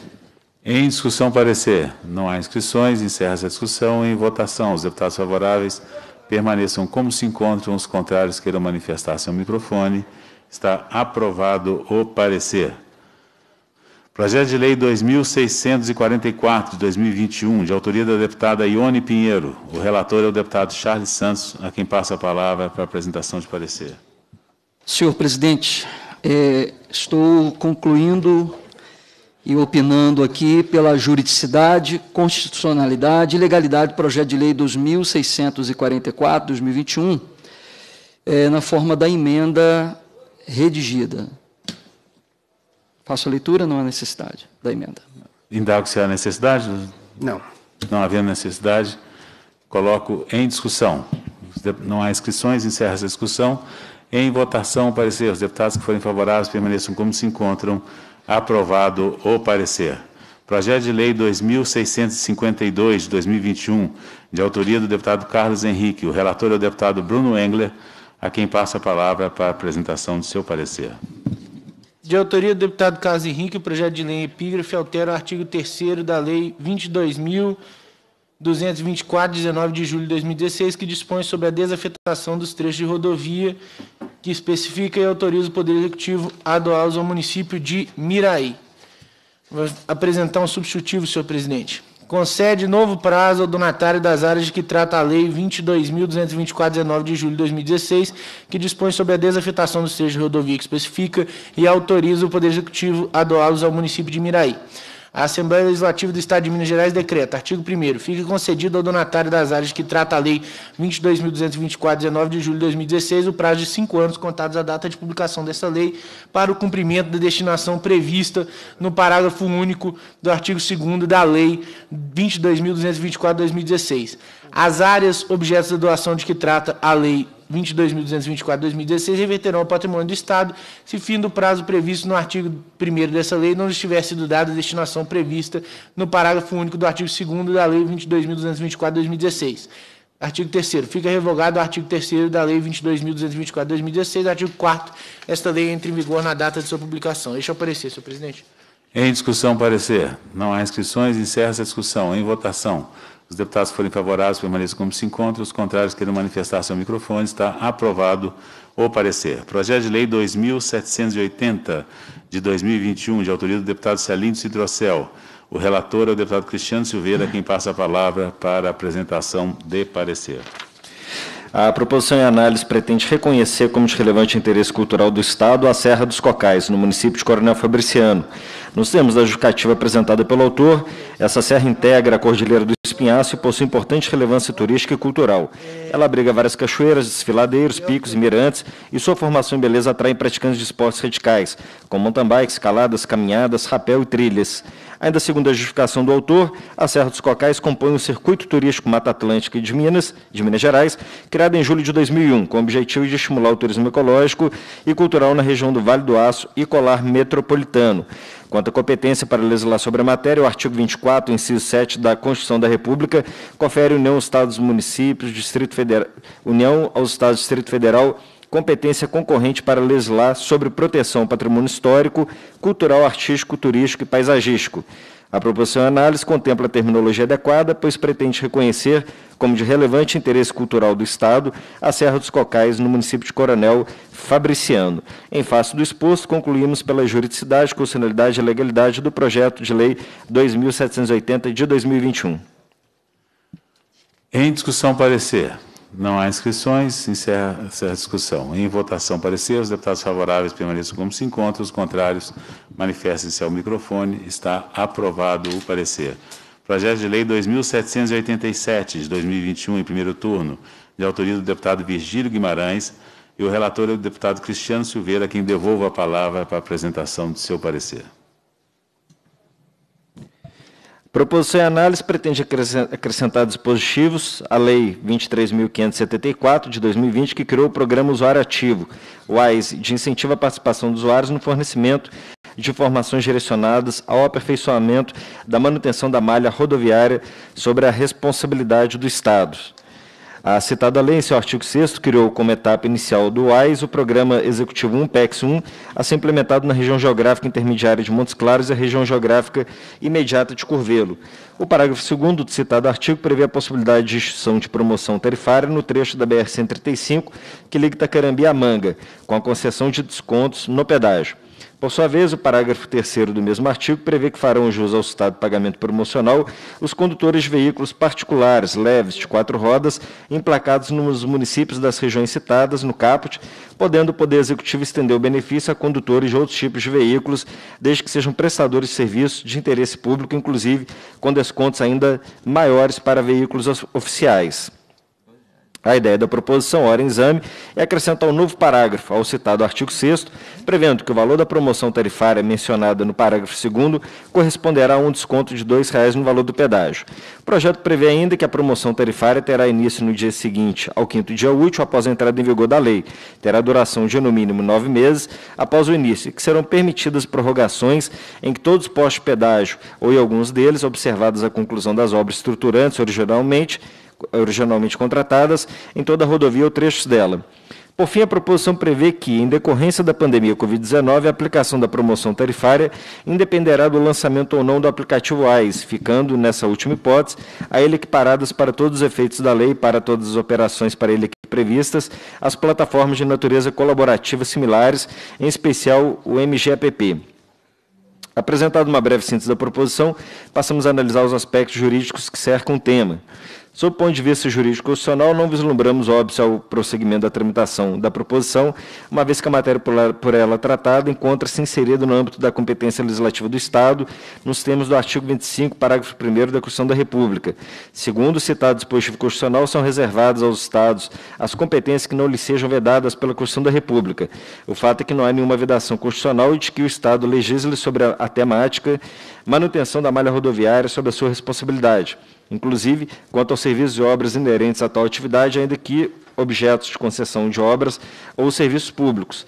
Quanto ao aspecto da iniciativa para a deflagração da proposição por parte do parlamentar, também não vislumbramos óbvios, principalmente considerando o substitutivo número 1 um ao final desse parecer apresentado. No citado substitutivo, apresenta-se a sugestão de que o desconto promocional seja autorizado ao Poder Executivo, não se tratando de uma implementação automática pela aprovação dessa proposição.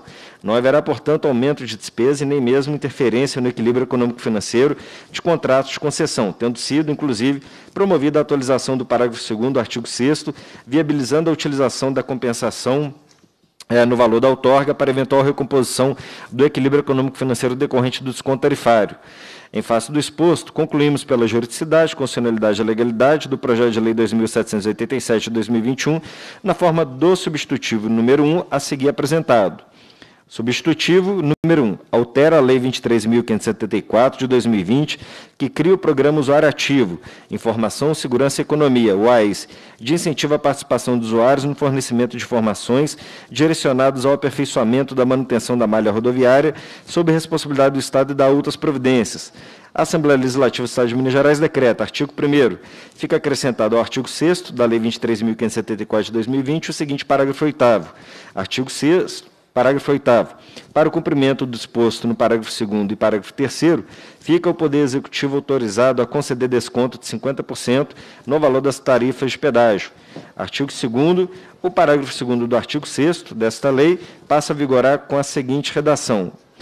Artigo 6 parágrafo 2 como promoção de lançamento do AIS incentivo à adesão dos usuários ao PEX 1, parte dos recursos da outorga relativa ao trecho rodoviário citado no parágrafo 1 será destinada a melhorias viárias nas diversas regiões do Estado e na região de abrangência do PEX 1, preferencialmente para o asfaltamento do trecho da BR-135, que liga Itacarambi a Manga bem como para o ressarcimento à empresa concessionária dos valores descontados promocionalmente das tarifas de pedágio pagas pelos usuários nesse trecho da rodovia, nos termos dos parágrafos 3 e 8 Artigo 3 essa lei entra em vigor na data da sua publicação. Em discussão, parecer. Eu peço isso, senhor presidente. É regimental, concedida vistas ao deputado Guilherme da Cunha. Projeto de Lei 2.825, de 2021, de autoria do deputado Betim Pinto Coelho, relator é o deputado Glaicon Franco, a quem passa a palavra para a apresentação de seu parecer. Senhor presidente, demais deputados, distinto público que nos acompanha pela TV Assembleia e as demais mídias sociais, antes de fazer a leitura do nosso parecer, senhor presidente, gostaria de saudá-lo por mais esta importante obra que Vossa Excelência lança e me apresentei aqui ao seu livro Três Décadas por Minas, Pronunciamentos e Vivências. Não tenho dúvida nenhuma em poder afiançar a todos aqueles que tiverem a oportunidade de saborear essa importante obra, que vão poder ter acesso a momentos importantes da vida pública mineira e ao grande trabalho que Vossa Excelência vem desenvolvendo no Parlamento de Minas. Eu, nesses três mandatos, sou testemunha ocular do seu trabalho, da sua lisura e da sua competência. Então, fico muito feliz por ter sido agraciado com esse exemplar, com a sua dedicatória, e parabenizo por mais essa importante obra. O senhor sabe muito bem que Vossa Excelência é uma referência para todos nós. Obrigado, Sávio. Agradeço, deputado Glaico. Sei que fala com a voz do coração, da amizade que nos une, e agradeço sensibilizado a generosidade de seus comentários. Já passando ao parecer, em primeiro turno, do projeto de lei 2.825-2021,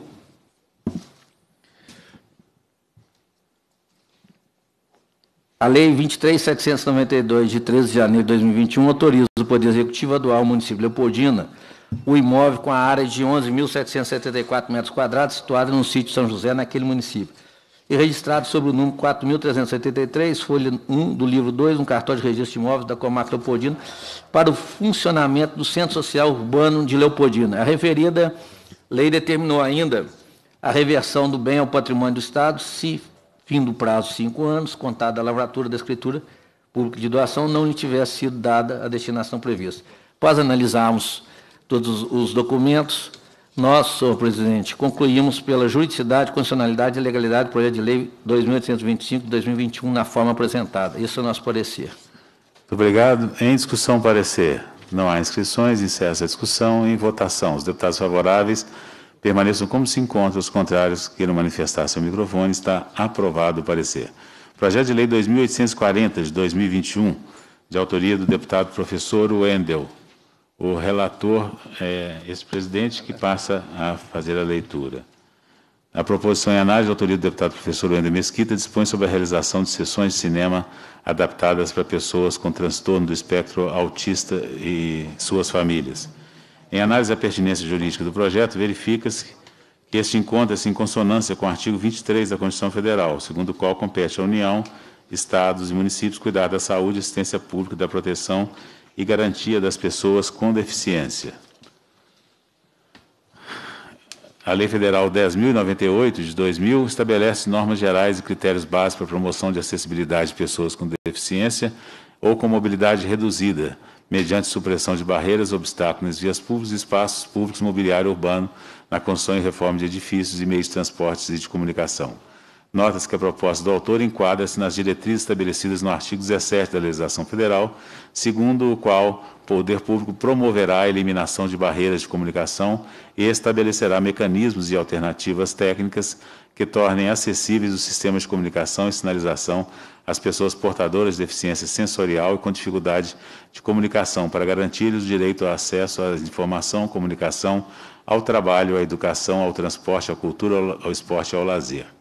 No âmbito estadual, a matéria, a matéria foi tratada na Lei 3.799 de 2000, que institui a Política Estadual de Direitos da Pessoa com Deficiência. Nos termos do seu artigo 2 inciso 5 um dos objetivos da política consiste no combate aos preconceitos por meio da oferta de condições de integração social da pessoa com deficiência, desenvolvida em programas de saúde, educação, cultura, esportes, lazer e profissionalização.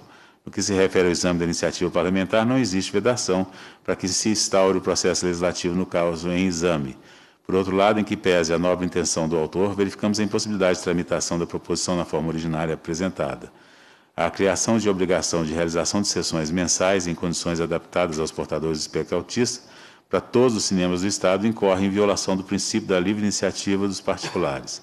Da mesma forma, a instituição de penalidades em caso de descumprimento da obrigação traz dúvidas quanto ao ente federativo que se encarregará da fiscalização e aplicação de sanções, podendo igualmente resultar em violação quando a iniciativa da matéria por afetar a estrutura organizacional administrativa. Sendo assim, apresentamos o substitutivo número 1, a fim de preservar o escopo do projeto e adequá-lo aos preceitos constitucionais vigentes, mantendo-se a proposta originária quanto à instituição de diretrizes para ampliação do acesso dos portadores de deficiência às atividades culturais, como no caso dos cinemas. Em face do exposto, concluímos pela juridicidade, legalidade e constitucionalidade do projeto de lei 2840 de 2021, na forma do substitutivo número 1 a seguir apresentado. Substitutivo número 1 altera o artigo 2 da Lei 3.799, de 21 de dezembro de 2000, que dispõe sobre a política estadual de direitos da pessoa com deficiência e cria o Conselho Estadual de Defesa dos Direitos da Pessoa com Deficiência. A Assembleia Legislativa dos Estados Minerais decreta. Artigo 1 Ficam acrescentados ao artigo 2 da Lei 3.799, de 21 de dezembro de 2000, seguintes, inciso 8 e parágrafo 1. Artigo 2 inciso 8 adoção de mecanismos que tornem acessíveis às pessoas com deficiência e participação em eventos culturais, exposições, sessões de cinema e teatro e espetáculos musicais, a fim de garantir o direito ao acesso à comunicação, educação e à cultura. Parágrafo único. Entre os mecanismos a que se refere o inciso 8 do CAPT, estão aqueles que garantam a acessibilidade de crianças e adolescentes com transtorno do espectro autista e suas famílias às salas de cinema situadas no Estado, com a realização de sessões periódicas de exibição de filmes que atendam às seguintes condições: primeiro, supressão da publicidade comercial, segundo, redução da intensidade das luzes e do volume de som. Terceiro, permissão para livre circulação dos presentes pelo interior da sala. E para a sua entrada e saída durante a exibição do filme. Quatro, adequação do filme a ser exibido às pessoas com transtorno de espectro autista. Quinto, identificação das sessões com o símbolo mundial do espectro autista que deverá ser afixado na entrada da sala de exibição. Artigo 2 essa lei entra em vigor na data de sua publicação. É este o parecer que submeto agora ao processo de discussão. Não há inscrições, encerra essa discussão em votação. Os deputados que forem favoráveis permaneçam como se encontram. Aprovado o parecer. A pauta? Sumiu aqui.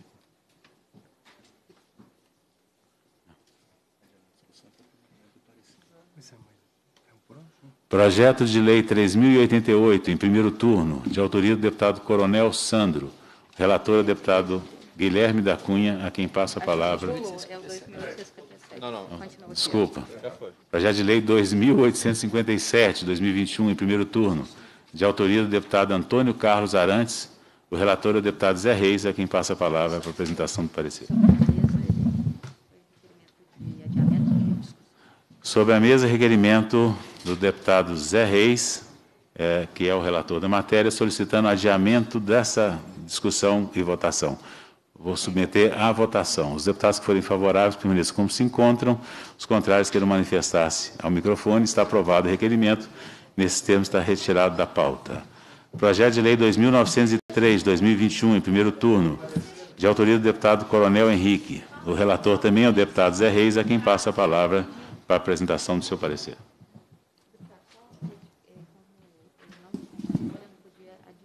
Senhor presidente, nobres colegas, deputado, projeto de lei número 2.903 de 2021, de autoria do deputado Coronel Henrique, da qual requeiro que a proposição seja encaminhada à Polícia Civil, à Polícia Militar e ao Corpo de Bombeiros para que formem como será realizado o adestramento de cães faregeradores no Estado e se há convênios com órgãos federais para cessão de cadáveres, partes ou membros humanos não utilizados pelas escolas de medicina e de drogas de componentes explosivos.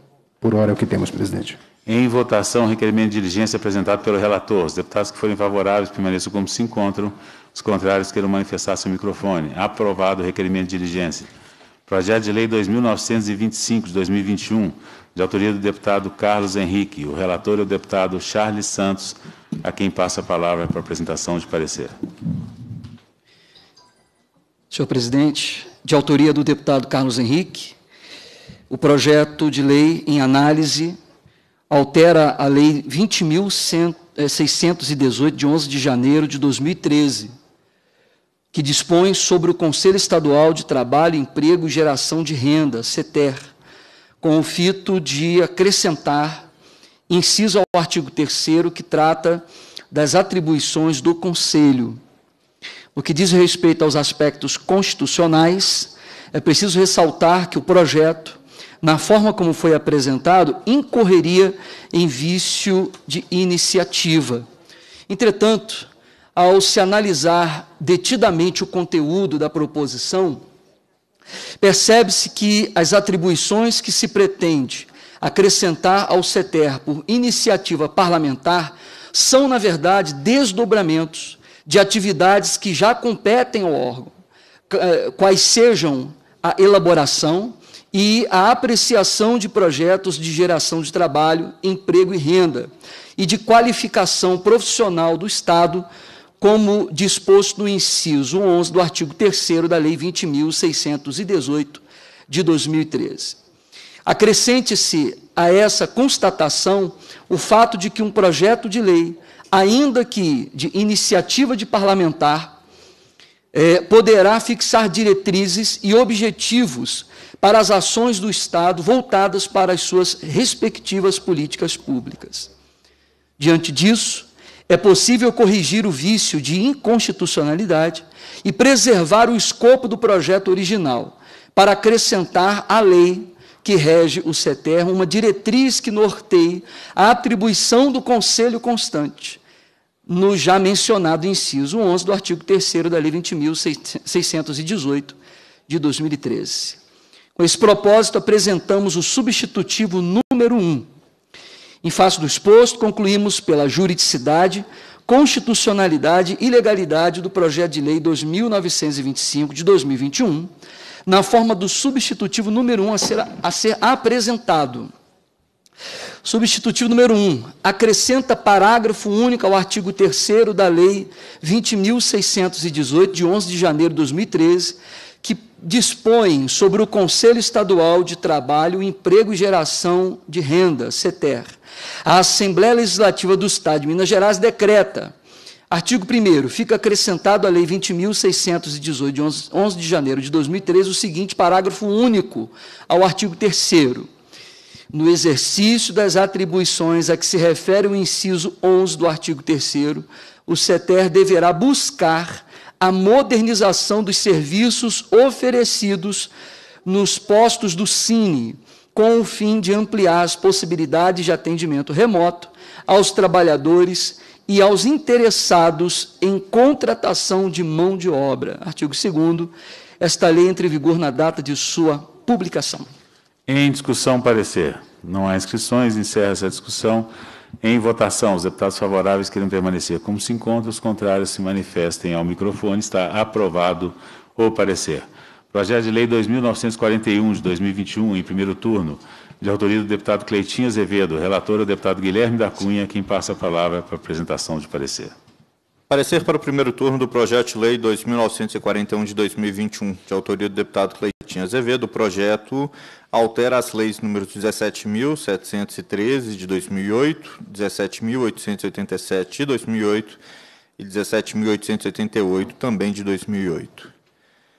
As leis é, mencionadas autorizaram a doação para o município de Divinópolis dos seguintes imóveis situados naquele município matriculados no livro 2 do cartório de registro de imóveis da comarca de Divinópolis. Um imóvel 47.600 metros quadrados, situado no lugar denominado Cangalheiros, registrado sob o número 28.083. O imóvel com área de 18,073 hectares, situado no lugar denominado Grotão e Serra do Quintal, registrado sob o número 90.019 e o imóvel com área de 65.880 metros quadrados, situado no lugar denominado Grotão em Serra do Quintal, registrado sob o número 90.020.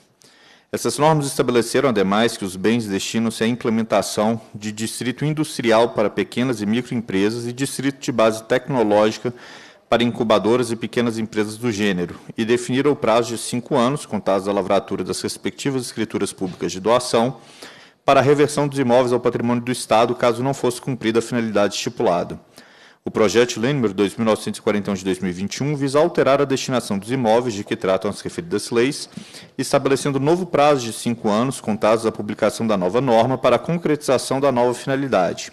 Por fim, propõe autorizar a transferência das propriedades dos referidos bens para terceiros. Chamada a se manifestar sobre a matéria, a Prefeitura Municipal de Divinópolis encaminhou o ofício número 351 de 2021 da Secretaria Municipal de Desenvolvimento Econômico Sustentável e Turismo, por meio da qual argumentou que, embora o crescimento de indústrias da área de tecnologia tenha sido superior a 210% na última década, muitas dessas empresas têm desenvolvido suas atividades por meio de trabalho remoto, fenômeno intensificado pela pandemia de Covid-19, o que reduziu significativamente a procura por espaços para a instalação de empresas de base tecnológica. Informou que, por outro lado, Várias outras indústrias têm buscado se estabelecer no município e pretende, portanto, que empresas de outras naturezas possam utilizar os imóveis, o que poderá gerar empregos e estimular a economia local. A Secretaria de Estado de Governo, por sua vez, encaminhou a nota técnica número 178 de 2021 da Secretaria de Estado de Planejamento e Gestão, por meio da qual informou que, mantida a finalidade pública na utilização dos imóveis, não há óbices às alterações pretendidas. Cumpre observar que a proteção do interesse coletivo é o princípio de observância obrigatória pela administração do Estado, pois no trato da coisa pública prepondera o que é conveniente para a coletividade. Por isso, nas proposições em que essa Assembleia autoriza a alienação de bens estaduais, assim como a alteração de normas dessa natureza, em obediência ao artigo 18 da Constituição do Estado e ao artigo 76 da Lei Federal 14.133 de 2021, que institui normas para licitações e contratos da administração pública, a existência de, sal, de tal salvaguarda é constatada nas cláusulas de destinação e de reversão. No caso em apreço, verifica-se que a nova destinação viva favorecer os mesmos interesses públicos perseguidos com alienação efetivada, desenvolvimento econômico e tecnológico. A alteração consiste na compatibilização da finalidade específica dos bens à realidade econômica concretamente verificada, a concessão de novo prazo de cinco anos, contados a partir da publicação da nova lei, para a efetivação da nova finalidade é consequência lógica dessa alteração, tendo em vista o exaurimento do prazo anteriormente definido. No entanto, a pretensão de autorizar a transferência das propriedades dos imóveis para terceiros não encontra ressonância no ordenamento jurídico. Isso porque o artigo 76, parágrafo 2 da Lei Federal 14.133 de 2021 veda a alienação pelo beneficiário do imóvel recebido nos termos da linha B do inciso 1 do caput do mencionado artigo, que a propósito permite a doação exclusivamente para outro órgão ou entidade da administração pública. O interesse público pode ser alcançado, porém, por outros meios que não impliquem na transferência da propriedade dos bens. Assim, não há óbitos da tramitação da matéria, contudo, apresentamos o substitutivo número 1, redigido ao final deste parecer, para adequar o texto do projeto às balizas legais e à técnica legislativa. Em face do exposto, concluímos pela juridicidade, constitucionalidade e legalidade do projeto de lei número 2.941 de 2021, na forma do substitutivo número 1, redigido a seguir. Substitutivo número 1, altera a destinação dos imóveis de que tratam as leis número 17.713, de 8 de agosto de 2008, 17.887, 4 de dezembro de 2008 e 17.888, de 4 de dezembro de 2008, que autorizam o Poder Executivo a doar ao município de Divinópolis os imóveis que especificam.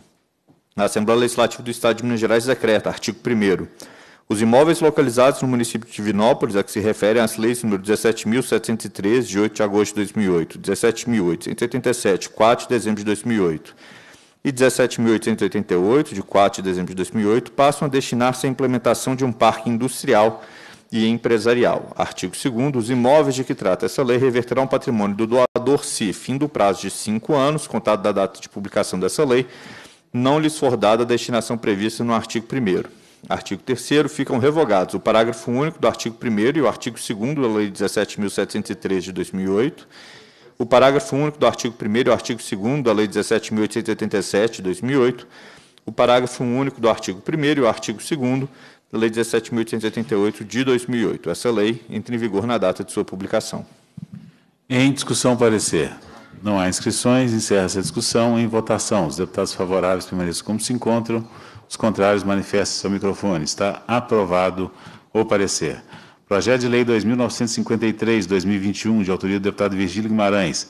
Relator é o deputado Cristiano Silveira, quem passa a palavra para a apresentação de parecer. De autoria do deputado Virgílio Guimarães, o projeto de lei em epígrafe autoriza o Poder Executivo a doar ao município de Barão de Cocais o imóvel que especifica. Há que se observar o artigo 76 da Lei Federal 14.133, 1 de abril de 2021, que institui normas para licitações e contratos da administração pública para bens imóveis, o inciso 1 desse dispositivo exige autorização legislativa e licitação na modalidade de leilão, dispensada esta última em caso de doação, entre outros institutos previstos na lei. Em sua manifestação, o prefeito Barão de Cocais informou, por meio de ofício, que possui interesse na transferência da titularidade do imóvel em questão. A Secretaria de Estado de Governo, por sua vez, encaminhou nota técnica da Secretaria de Estado de Planejamento, por meio do qual se manifestou favoravelmente a alienação pretendida. Assim, embora não haja óbvio a tramitação da matéria e análise, apresentamos no final desse parecer o substitutivo número 1, com a finalidade de adequar o texto à técnica, técnica legislativa. Conclusão, em face do exposto, conclui, concluímos pela juridicidade, constitucionalidade e legalidade do projeto de lei 2.953 de 2021, na forma do substitutivo número 1, a seguir redigido. Substitutivo número 1, autoriza o Poder Executivo dar ao município de Barão de Cocais o imóvel que especifica. A Assembleia Legislativa do Estado de Minas Gerais decreta, artigo 1 fica o Poder Executivo autorizado a doar ao município de Barão de Cocais um imóvel com área de 814 metros quadrados, situado na rua Afonso Pena, naquele município, registrado sob o número 1684 do livro 2RG, no cartório de registro de imóveis da comarca de Barão de Cocais. Parágrafo único. O imóvel que se refere ao caput destina-se ao funcionamento da Secretaria Municipal de Fazenda. Artigo 2 O imóvel de que trata essa lei reverterá ao patrimônio do doador, se fim do prazo de cinco anos contados da lavratura da escritura pública da doação não lhe tiver sido dada a destinação prevista no, no parágrafo parágrafo, no parágrafo único do artigo 1 Artigo 3 essa lei entra em vigor na data da sua publicação.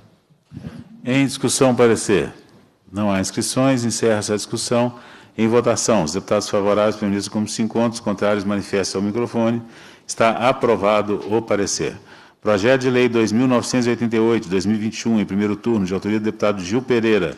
O relator é o deputado Glaicon Franco, a quem passo a palavra para a apresentação de seu parecer. Senhor presidente, vamos apresentar um requerimento que a proposição seja encaminhada à CEMIG para que essa informe quais são os procedimentos para o cadastro das famílias que farão jus no âmbito de Minas Gerais à tarifa social de energia elétrica e como é realizada a fiscalização desse cadastro. Esse é o nosso requerimento, senhor presidente.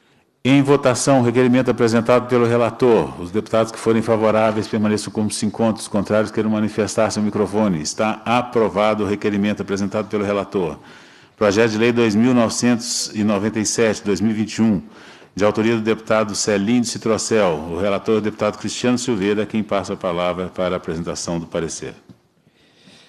Presidente, apresentando requerimento para diligência, Secretaria de Estado de Governo, para prestar informações sobre a situação do imóvel pretendido. Em votação, o requerimento de diligência apresentado pelo relator. Os deputados que forem favoráveis permaneçam como se encontram, os contrários queiram manifestar seu microfone. Está aprovado o requerimento de diligência. Projeto de Lei 3037-2021, em primeiro turno, de autoria do deputado Mauro Tramonte. O relator é o deputado Charles Santos, a quem passo a palavra para a apresentação de parecer. Obrigado, presidente. De autoria do deputado Mauro Tramonte, a proposta em epígrafe altera a Lei 12.219, de 1 de julho de 1996, que autoriza o Poder Executivo a delegar, por meio de concessão ou de permissão, os serviços públicos que menciona e dá outras providências. O cerne da proposição, conforme consta de seu artigo 1 é a destinação de 10% dos recursos auferidos pela concessão à iniciativa privada da operação de terminais de transporte e, de, e da construção e operação de rodovias que deverão ser destinados para investimentos no turismo. O autor, em síntese, sustenta que a atividade de turismo é uma das maiores responsáveis pela criação de emprego e renda e que a cadeia produtiva do turismo deve ser, é, deve ser fomentada por intermédio dos recursos auferidos no programa de, con de concessões rodoviárias iniciado pelo governo do Estado. Esse contexto revela que é oportuno o debate sobre a destinação da receita com a outorga de concessões rodoviárias sem adentrar no mérito, interessa-nos o respeito às balizas constitucionais para que tal debate prossiga nesta casa.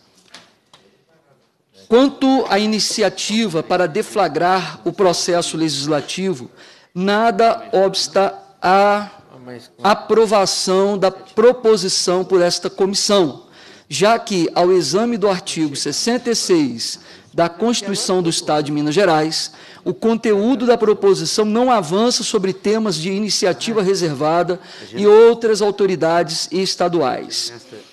É, a Constituição Federal acolhe o princípio da não afetação de receitas em seu artigo 167, inciso 4, o qual veda a destinação da receita de impostos a órgão, fundo ou despesas, ressalvadas as vinculações excepcionadas na própria Constituição.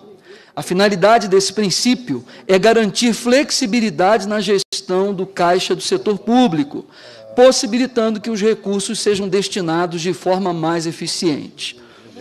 É, embora a vinculação de receitas seja vista como uma alternativa em situações nas quais o poder público não dispõe de recursos suficientes, ocorre que o orçamento público no Brasil já é bastante engessado.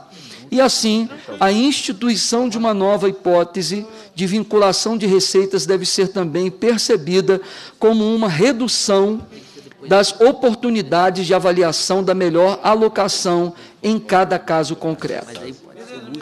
É, outra questão é a presença de quantitativos muito concretos para alocação de receitas correntes em projeto de lei de iniciativa parlamentar. Dessa forma, a proposta, da forma como está expressa no projeto de lei em análise, deveria ser discutida no contexto da legislação orçamentária. Esse tipo de legislação é mais adequado para definições concretas sobre prioridades alocativas, por suas leis, pois suas leis têm um caráter periódico e dispõem efetivamente sobre os programas, as receitas e as despesas do Estado. Para contornar essas dificuldades, apresentamos na conclusão deste parecer um substitutivo, no qual buscamos manter as ideias principais contidas no projeto original. Em face do exposto, concluímos, pela juridicidade, constitucionalidade e legalidade do projeto de lei 3037 de 2021, de, na forma do substitutivo número 1 a ser redigido. Substitutivo número 1, altera a Lei 12.219, de 1 de setembro de 1996, de 1 de julho de 1996, que autoriza o Poder Executivo a delegar, por meio de concessão ou de permissão, os serviços públicos que menciona e dá outras providências. A Assembleia Legislativa do Estado de Minas Gerais decreta, artigo 1 fica acrescentado ao artigo 9A da Lei 12.219, de 1 de julho de 1996, o seguinte parágrafo terceiro. Os recursos auferidos por meio de outorga nas concessões previstas no inciso 1 e 2 do artigo 1 deverão contemplar investimentos na infraestrutura de turismo do Estado. Artigo 2 esta lei entra em vigor na data de sua publicação. Este é o parecer, presidente. Em discussão, parecer. Não há inscrições. Encerra essa discussão. Em votação. Os deputados que forem favoráveis permaneçam como se encontram, os contrários queiram manifestar seu microfone. Está aprovado o parecer. Projeto de Lei 3057 de 2021, em primeiro turno, de autoria do deputado Coronel Henrique. O relator também é o deputado Charles Santos, a quem devolvo a palavra para a apresentação de seu parecer. Senhor presidente, estou apresentando o requerimento, baixando em diligência é, a Polícia Militar de Minas Gerais, a Secretaria de Estado de Educação e a Secretaria de Estado de Planejamento e Gestão. Em votação, o requerimento de diligência apresentado pelo relator. Os deputados que forem favoráveis permaneçam como se encontram. Os contrários queiram manifestar seu microfone. Está aprovado o requerimento de diligências. Projeto de Lei 3088, em primeiro turno, de autoria do deputado Coronel Sandro. O relator é o deputado Guilherme da Cunha, a quem passo a palavra para a apresentação de seu parecer. Senhor presidente, estou apresentando um requerimento de diligência ao autor, à própria entidade Obras Sociais da Diocese de Governador Valadares e também à Secretaria de Estado de Governo para informações necessárias ao exame da proposição. Em votação, requerimento de diligência apresentado pelo relator. Os deputados que forem favoráveis permaneçam como se encontram. Os contrários queiram manifestar seu microfone. Está aprovado o requerimento de diligências. Projeto de Lei 3.119, de 2021, em primeiro turno, de autoria do deputado Noraldino Júnior. O relator também é o deputado Guilherme da Cunha, a quem devolvo a palavra para a apresentação de seu parecer. Senhor presidente, estou apresentando um requerimento de diligência à Prefeitura Municipal de Passos, ao DER, à Secretaria de Estado de Governo e ao autor, em busca de informações para o exame da proposição. Em votação, o requerimento de diligência apresentado pelo relator. Os deputados que forem favoráveis querem permanecer como se encontram, os contrários manifestem-se ao microfone. Está aprovado o requerimento de diligências. Projeto de Lei 3.122, de 2021, de autoria do deputado, presidente da Casa, Agostinho Patrus. O relator é este, presidente, é, que informa estar apresentando uma diligência à Secretaria de Estado de Governo para informar a Assembleia sobre a efetiva situação do imóvel se há óbice a transferência de domínio pleiteado. Esse é o requerimento que submeto à votação. Os deputados que forem favoráveis permaneçam como se encontram, os contrários queiram registrar ao microfone. Está aprovado o requerimento de diligências. Projeto de Lei 3.133, de 2021, de autoria dos deputados Tiago Cota e Braulio Braz. O relator também é este presidente, que está é, solicitando que seja baixada em diligência à Secretaria de Estado de Governo para que possa informar a Assembleia sobre a situação efetiva do imóvel e se há algum óbice à transferência de domínio pleiteado. Esclarece que, de acordo com a documentação apensada ao processo, o imóvel é de patrimônio das centrais de abastecimento de Minas Gerais. Em votação, requerimento de diligência, os deputados que forem favoráveis permaneçam como se encontram, os contrários queiram manifestar-se ao microfone Está aprovado o pedido de diligência. Projeto de Lei 3.137, de 2021, em primeiro turno, de autoria do deputado João Magalhães. O relator é esse presidente que passa a apresentar o seu parecer. De autoria do deputado João Magalhães, a proposição em epígrafe altera a Lei 23.801, de 21 de maio de 2021, que institui o plano de regularização e incentivo para a retomada de atividade do Estado de Minas Gerais, o Recomeça Minas e da outras providências. O projeto vem agora a este órgão para analisar o aspecto constitucional, legal e jurídico. A proposição em tela visa alterar a Lei 23 de 801, de 21 de maio de 2021, que instituiu o Plano de Regularização, Incentivo e Retomada da Atividade Econômica, o Recomeça Minas, e da outras providências.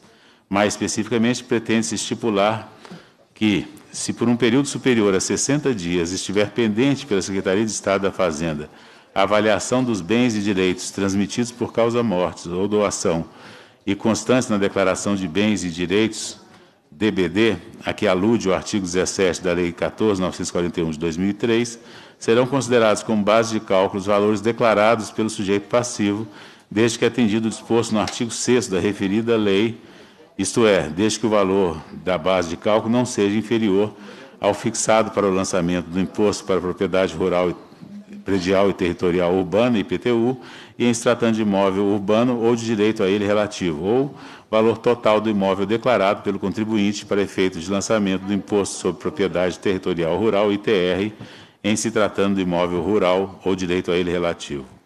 O autor observa que a Secretaria de Estado da Fazenda vem enfrentando grande acúmulo sobre carga de trabalho, que vem ocasionando atrasos, ocasionando atrasos na avaliação e declaração de bens e direitos, o DBD.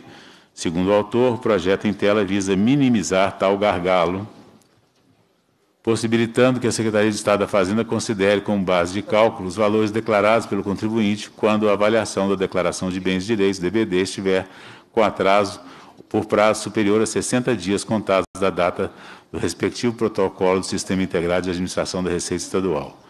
ITCD é um, um tributo instituído pelo Estado nos termos do artigo 155, inciso 1 da Constituição da República, de 1988. No exercício dessa competência, o Estado de Minas Gerais editou a Lei 14.941, de 2003, que dispõe sobre o referido imposto, estabelecendo a sua hipótese de incidência, base de cálculo, líquidos, entre outros aspectos. A Assembleia Legislativa compete dispor sobre, essa, sobre a matéria referente ao imposto em consonância com o princípio da reserva legal, haja vista que a organização do sistema tributário, da arrecadação e da distribuição de renda deve ser submetida ao crivo dessa Casa por força do disposto no artigo 61, inciso 3 da Constituição Mineira. Ademais, a matéria constante no projeto se insere no domínio da competência legislativa estadual, também conforme estabelece os incisos 1 e 11 do artigo 24 da Constituição da República, segundo o qual compete à União, aos Estados e ao Distrito Federal legislar concorrentemente sobre direito tributário e sobre procedimentos em matéria processual. Além disso, no que se refere a temas de direito administrativo, o Estado possui competência legislativa residual, conforme o parágrafo 1 do artigo 25 da Constituição. Quanto à iniciativa para deflagrar o processo, medida contida na proposição não se insere no rol constante do artigo 66, inciso 3 da Constituição Estadual, que dispõe sobre as matérias de competência privativa do governador do Estado.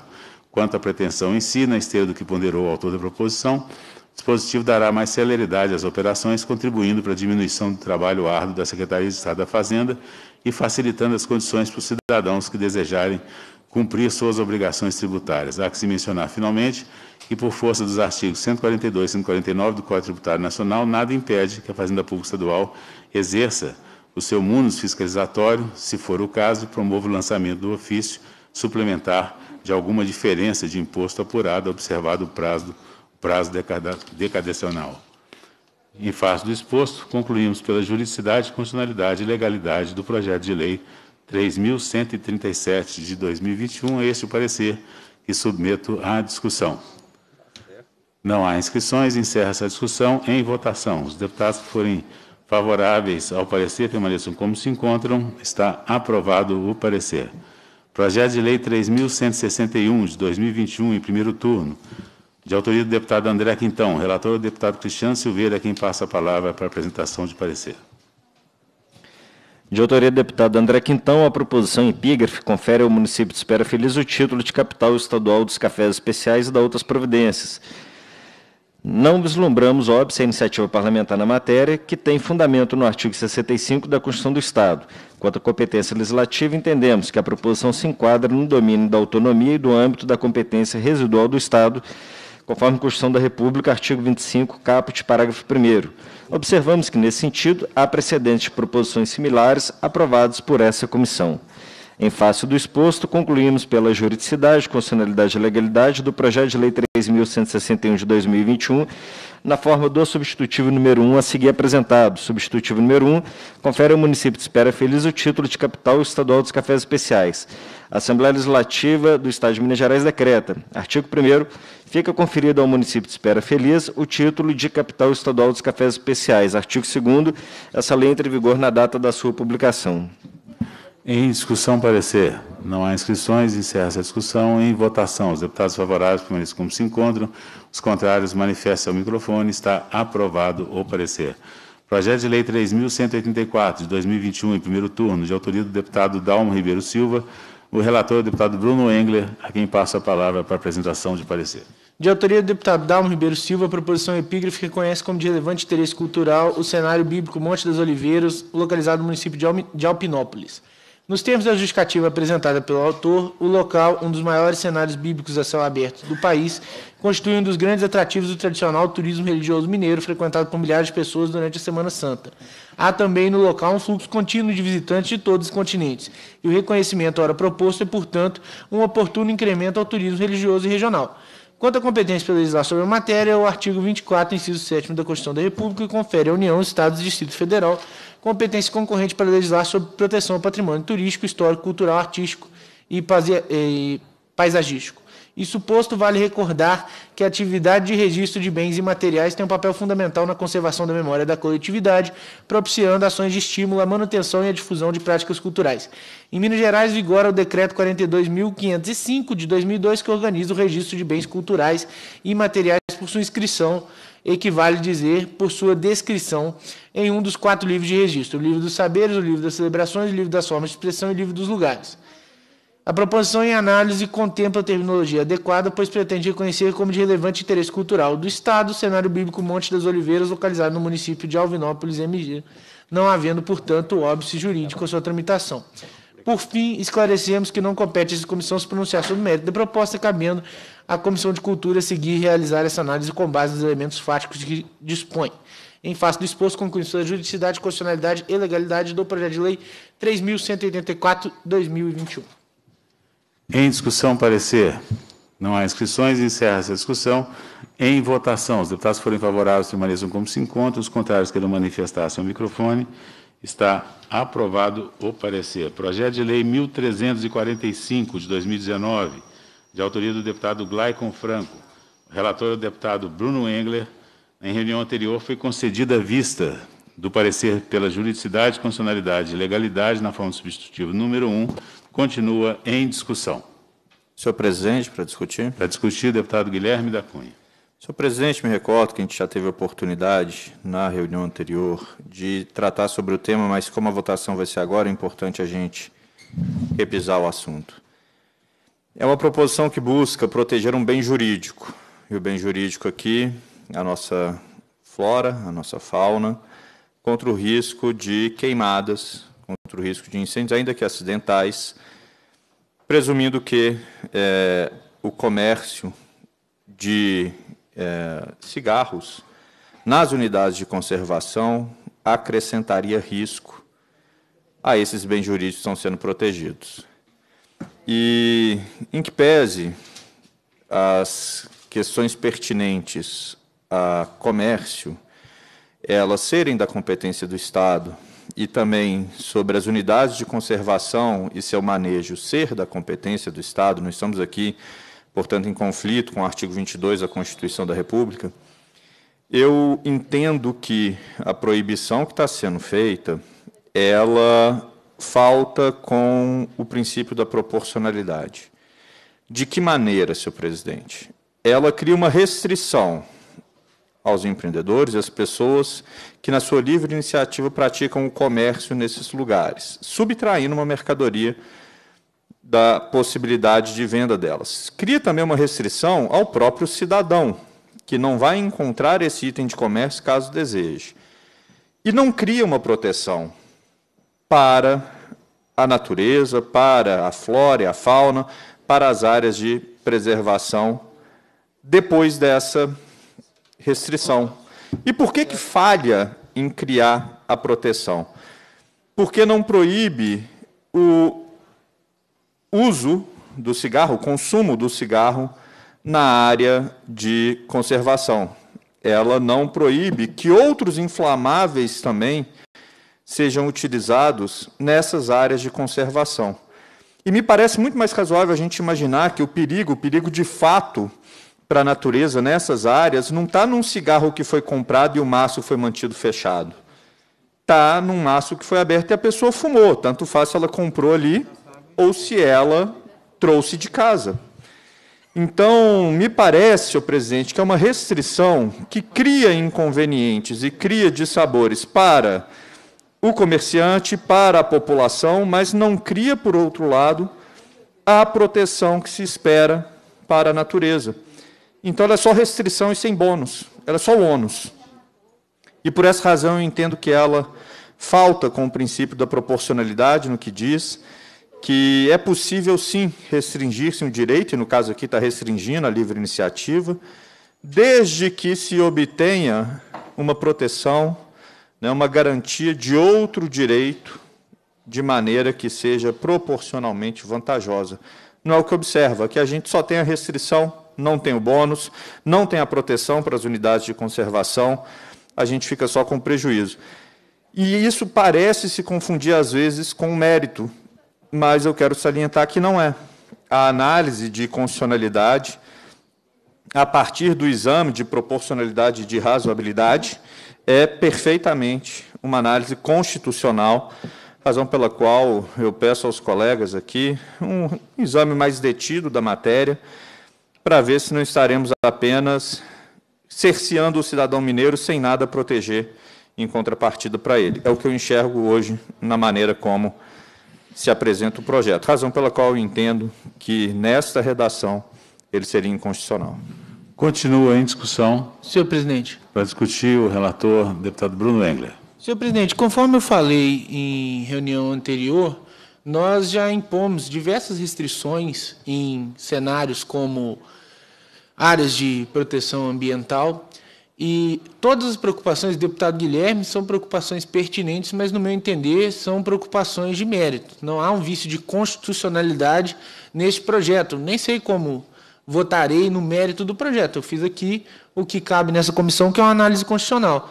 Na condição de relator, eu não vejo por que fazer mudanças em relação à constitucionalidade, mas como o autor é nosso colega, membro da comissão, eu indago se ele entende que é possível fazer alguma mudança para atender os colegas, porque se ele assim entender, eu não vejo problema em mudar, mas o autor da matéria é o deputado Glaico, ele que tem que dizer é, se entende que deve prosperar sim ou não, porque, de fato, constitucionalmente falando, eu não enxergo vício.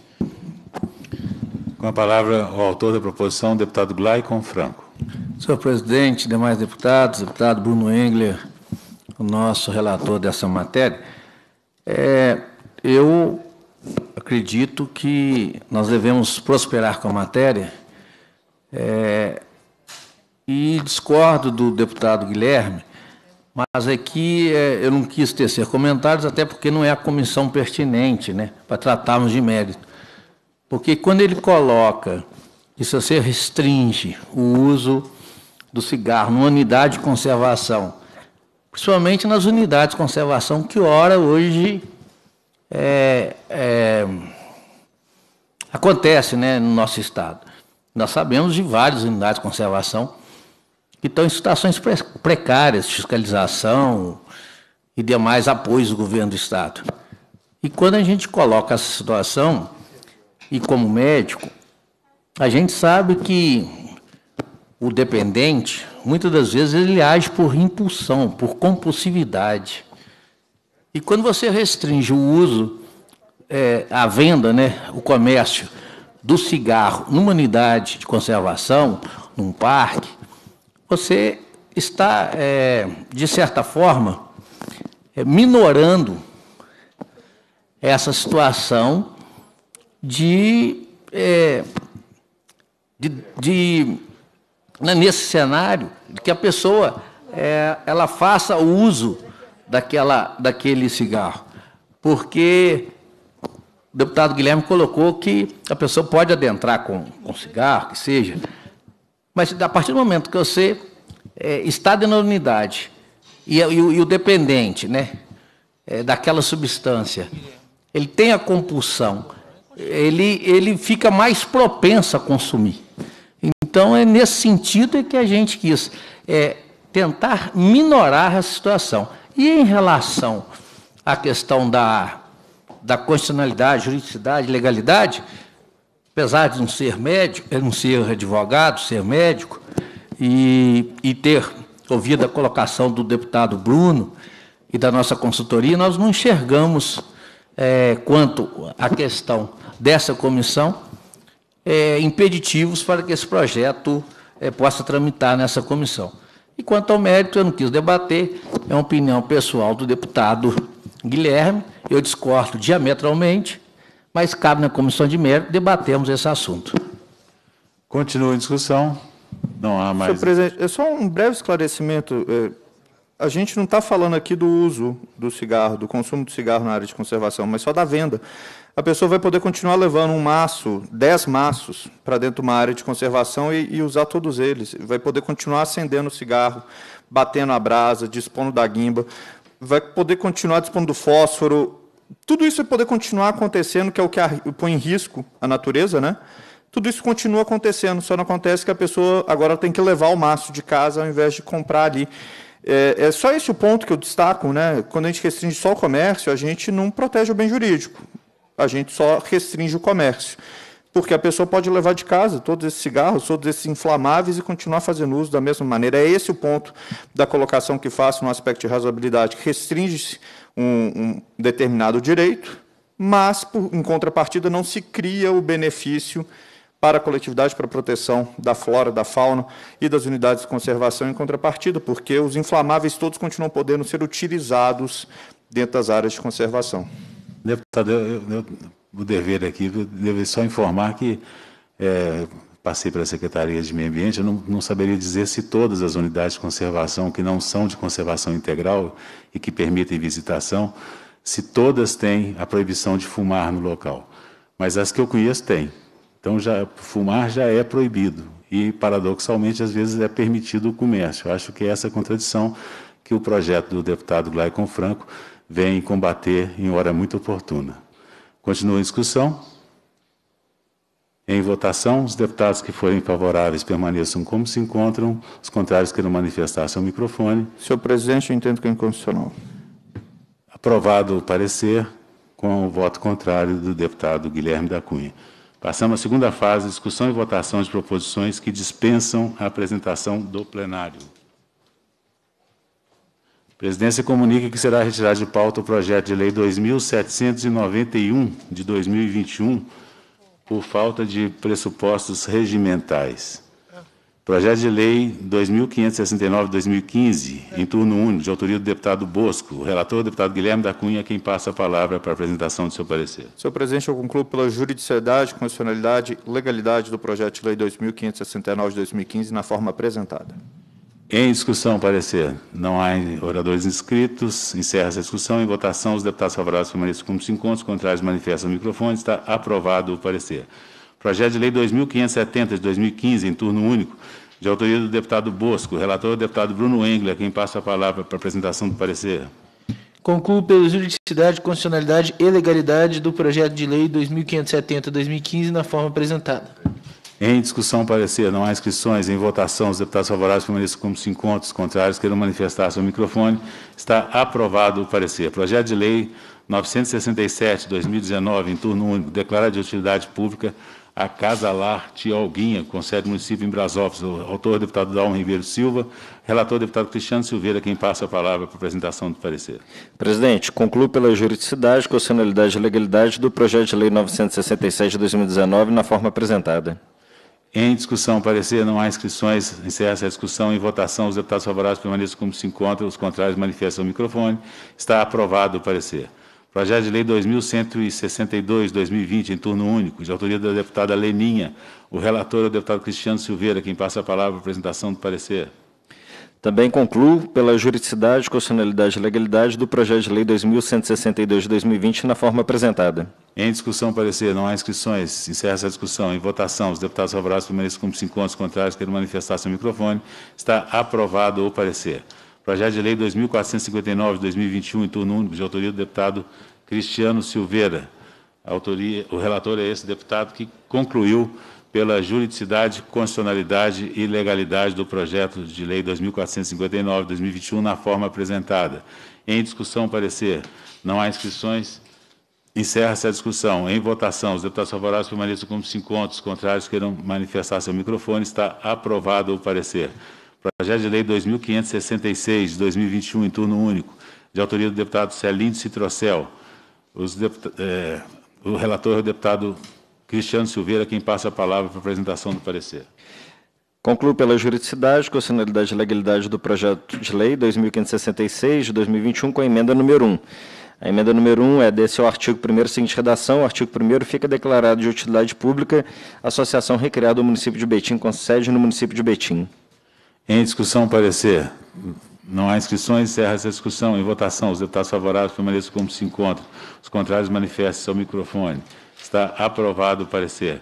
O 2.791 foi retirado por falta de pressupostos regimentais. Vamos ao projeto de lei 3.062 de 2021, de autoria do deputado Charles Santos, a relatoria dessa presidência, que está solicitando é, diligência ao autor para que é, envie cópia autenticada do Estatuto Constitutivo em vigor com comprovação de seu registro, expedido em cartório de registro civil, em no máximo dois anos, em observância ao dispositivo legal. E a alteração do artigo 44 do, do Estatuto Constitutivo, com a finalidade de vedar expressamente, sem exceção, remuneração de seus dirigentes. É essa a diligência apresentada por esse relator. Em votação, o pedido de diligência, os deputados favoráveis permaneçam como se encontram, os contrários queiram manifestar seu microfone. Está aprovado o pedido de diligência. Projeto de Lei 3064 de 2021, em turno único, de autoria do deputado Jean Freire. A relatoria também desta presidência que concluiu pela juridicidade, constitucionalidade e legalidade do projeto de lei 3064 de 2021 na forma apresentada. Em discussão parecer, não há inscrições, encerra essa discussão. Em votação, parecer. Os deputados forem favoráveis, permaneçam como se encontram. Os contrários queiram manifestar seu microfone. Está Aprovado o parecer. Projeto de Lei 3.087, em turno único, de autoria do deputado Tito Torres. O relator é o deputado Charles Santos, a quem passa a palavra para a apresentação do seu parecer. Presidente, concluo pela juridicidade, constitucionalidade e legalidade do projeto de lei 3.087 de 2021 na forma apresentada. Em discussão, parecer. Não há inscrições. Encerra essa discussão. Em votação, os deputados favoráveis permaneçam como se encontram, os contrários queiram manifestar seu microfone, está aprovado o parecer. Projeto de Lei 3.089, em turno único, de autoria do deputado professor Cleiton. A relatoria dessa presidência que concluiu pela juridicidade, constitucionalidade e legalidade do projeto na forma originalmente apresentada. Parecer que agora submeto à discussão. Não há inscrições, encerra essa discussão. Em votação, os deputados favoráveis permanecem como se encontram, os contrários querem manifestar seu microfone. Está aprovado o parecer. Projeto de Lei 3.130 de 2021, em turno único, de, de, autoria do deputado Leandro Genaro. O relator é o deputado Charles Santos, a quem passo a palavra para a apresentação do seu parecer. Estou apresentando o requerimento de diligência ao autor, senhor presidente. Em votação, o requerimento de diligência apresentado pelo relator. Os deputados favoráveis permaneçam como se encontram. Os contrários queiram manifestar seu microfone. Está aprovada a diligência requerida pelo relator. Projeto de Lei 3.131, em turno único, de autoria da deputada Celis Laviola. O relator é o deputado Bruno Engler, a quem passa a palavra para a apresentação do seu parecer. Concluo pela juridicidade, constitucionalidade e legalidade do projeto de lei 3.131-2021, com a emenda número 1. Em discussão, parecer. Encerra-se a discussão pela falta de inscrições. Em votação, os deputados favoráveis permaneçam como se encontram, os contrários queiram manifestar seu microfone. Está aprovado o parecer. Projeto de Lei 3.132, de 2021, de autoria da deputada Celis Laviola. O relator também é o deputado Bruno Engler, a quem devolvo a palavra para a apresentação do seu parecer. Senhor presidente, apresento requerimento de diligência à autora. Em votação, o requerimento de diligência requerido pelo relator. Os deputados favoráveis permaneçam como se encontram. Os contrários queiram manifestar seu microfone. Está aprovada a diligência requerida pelo relator.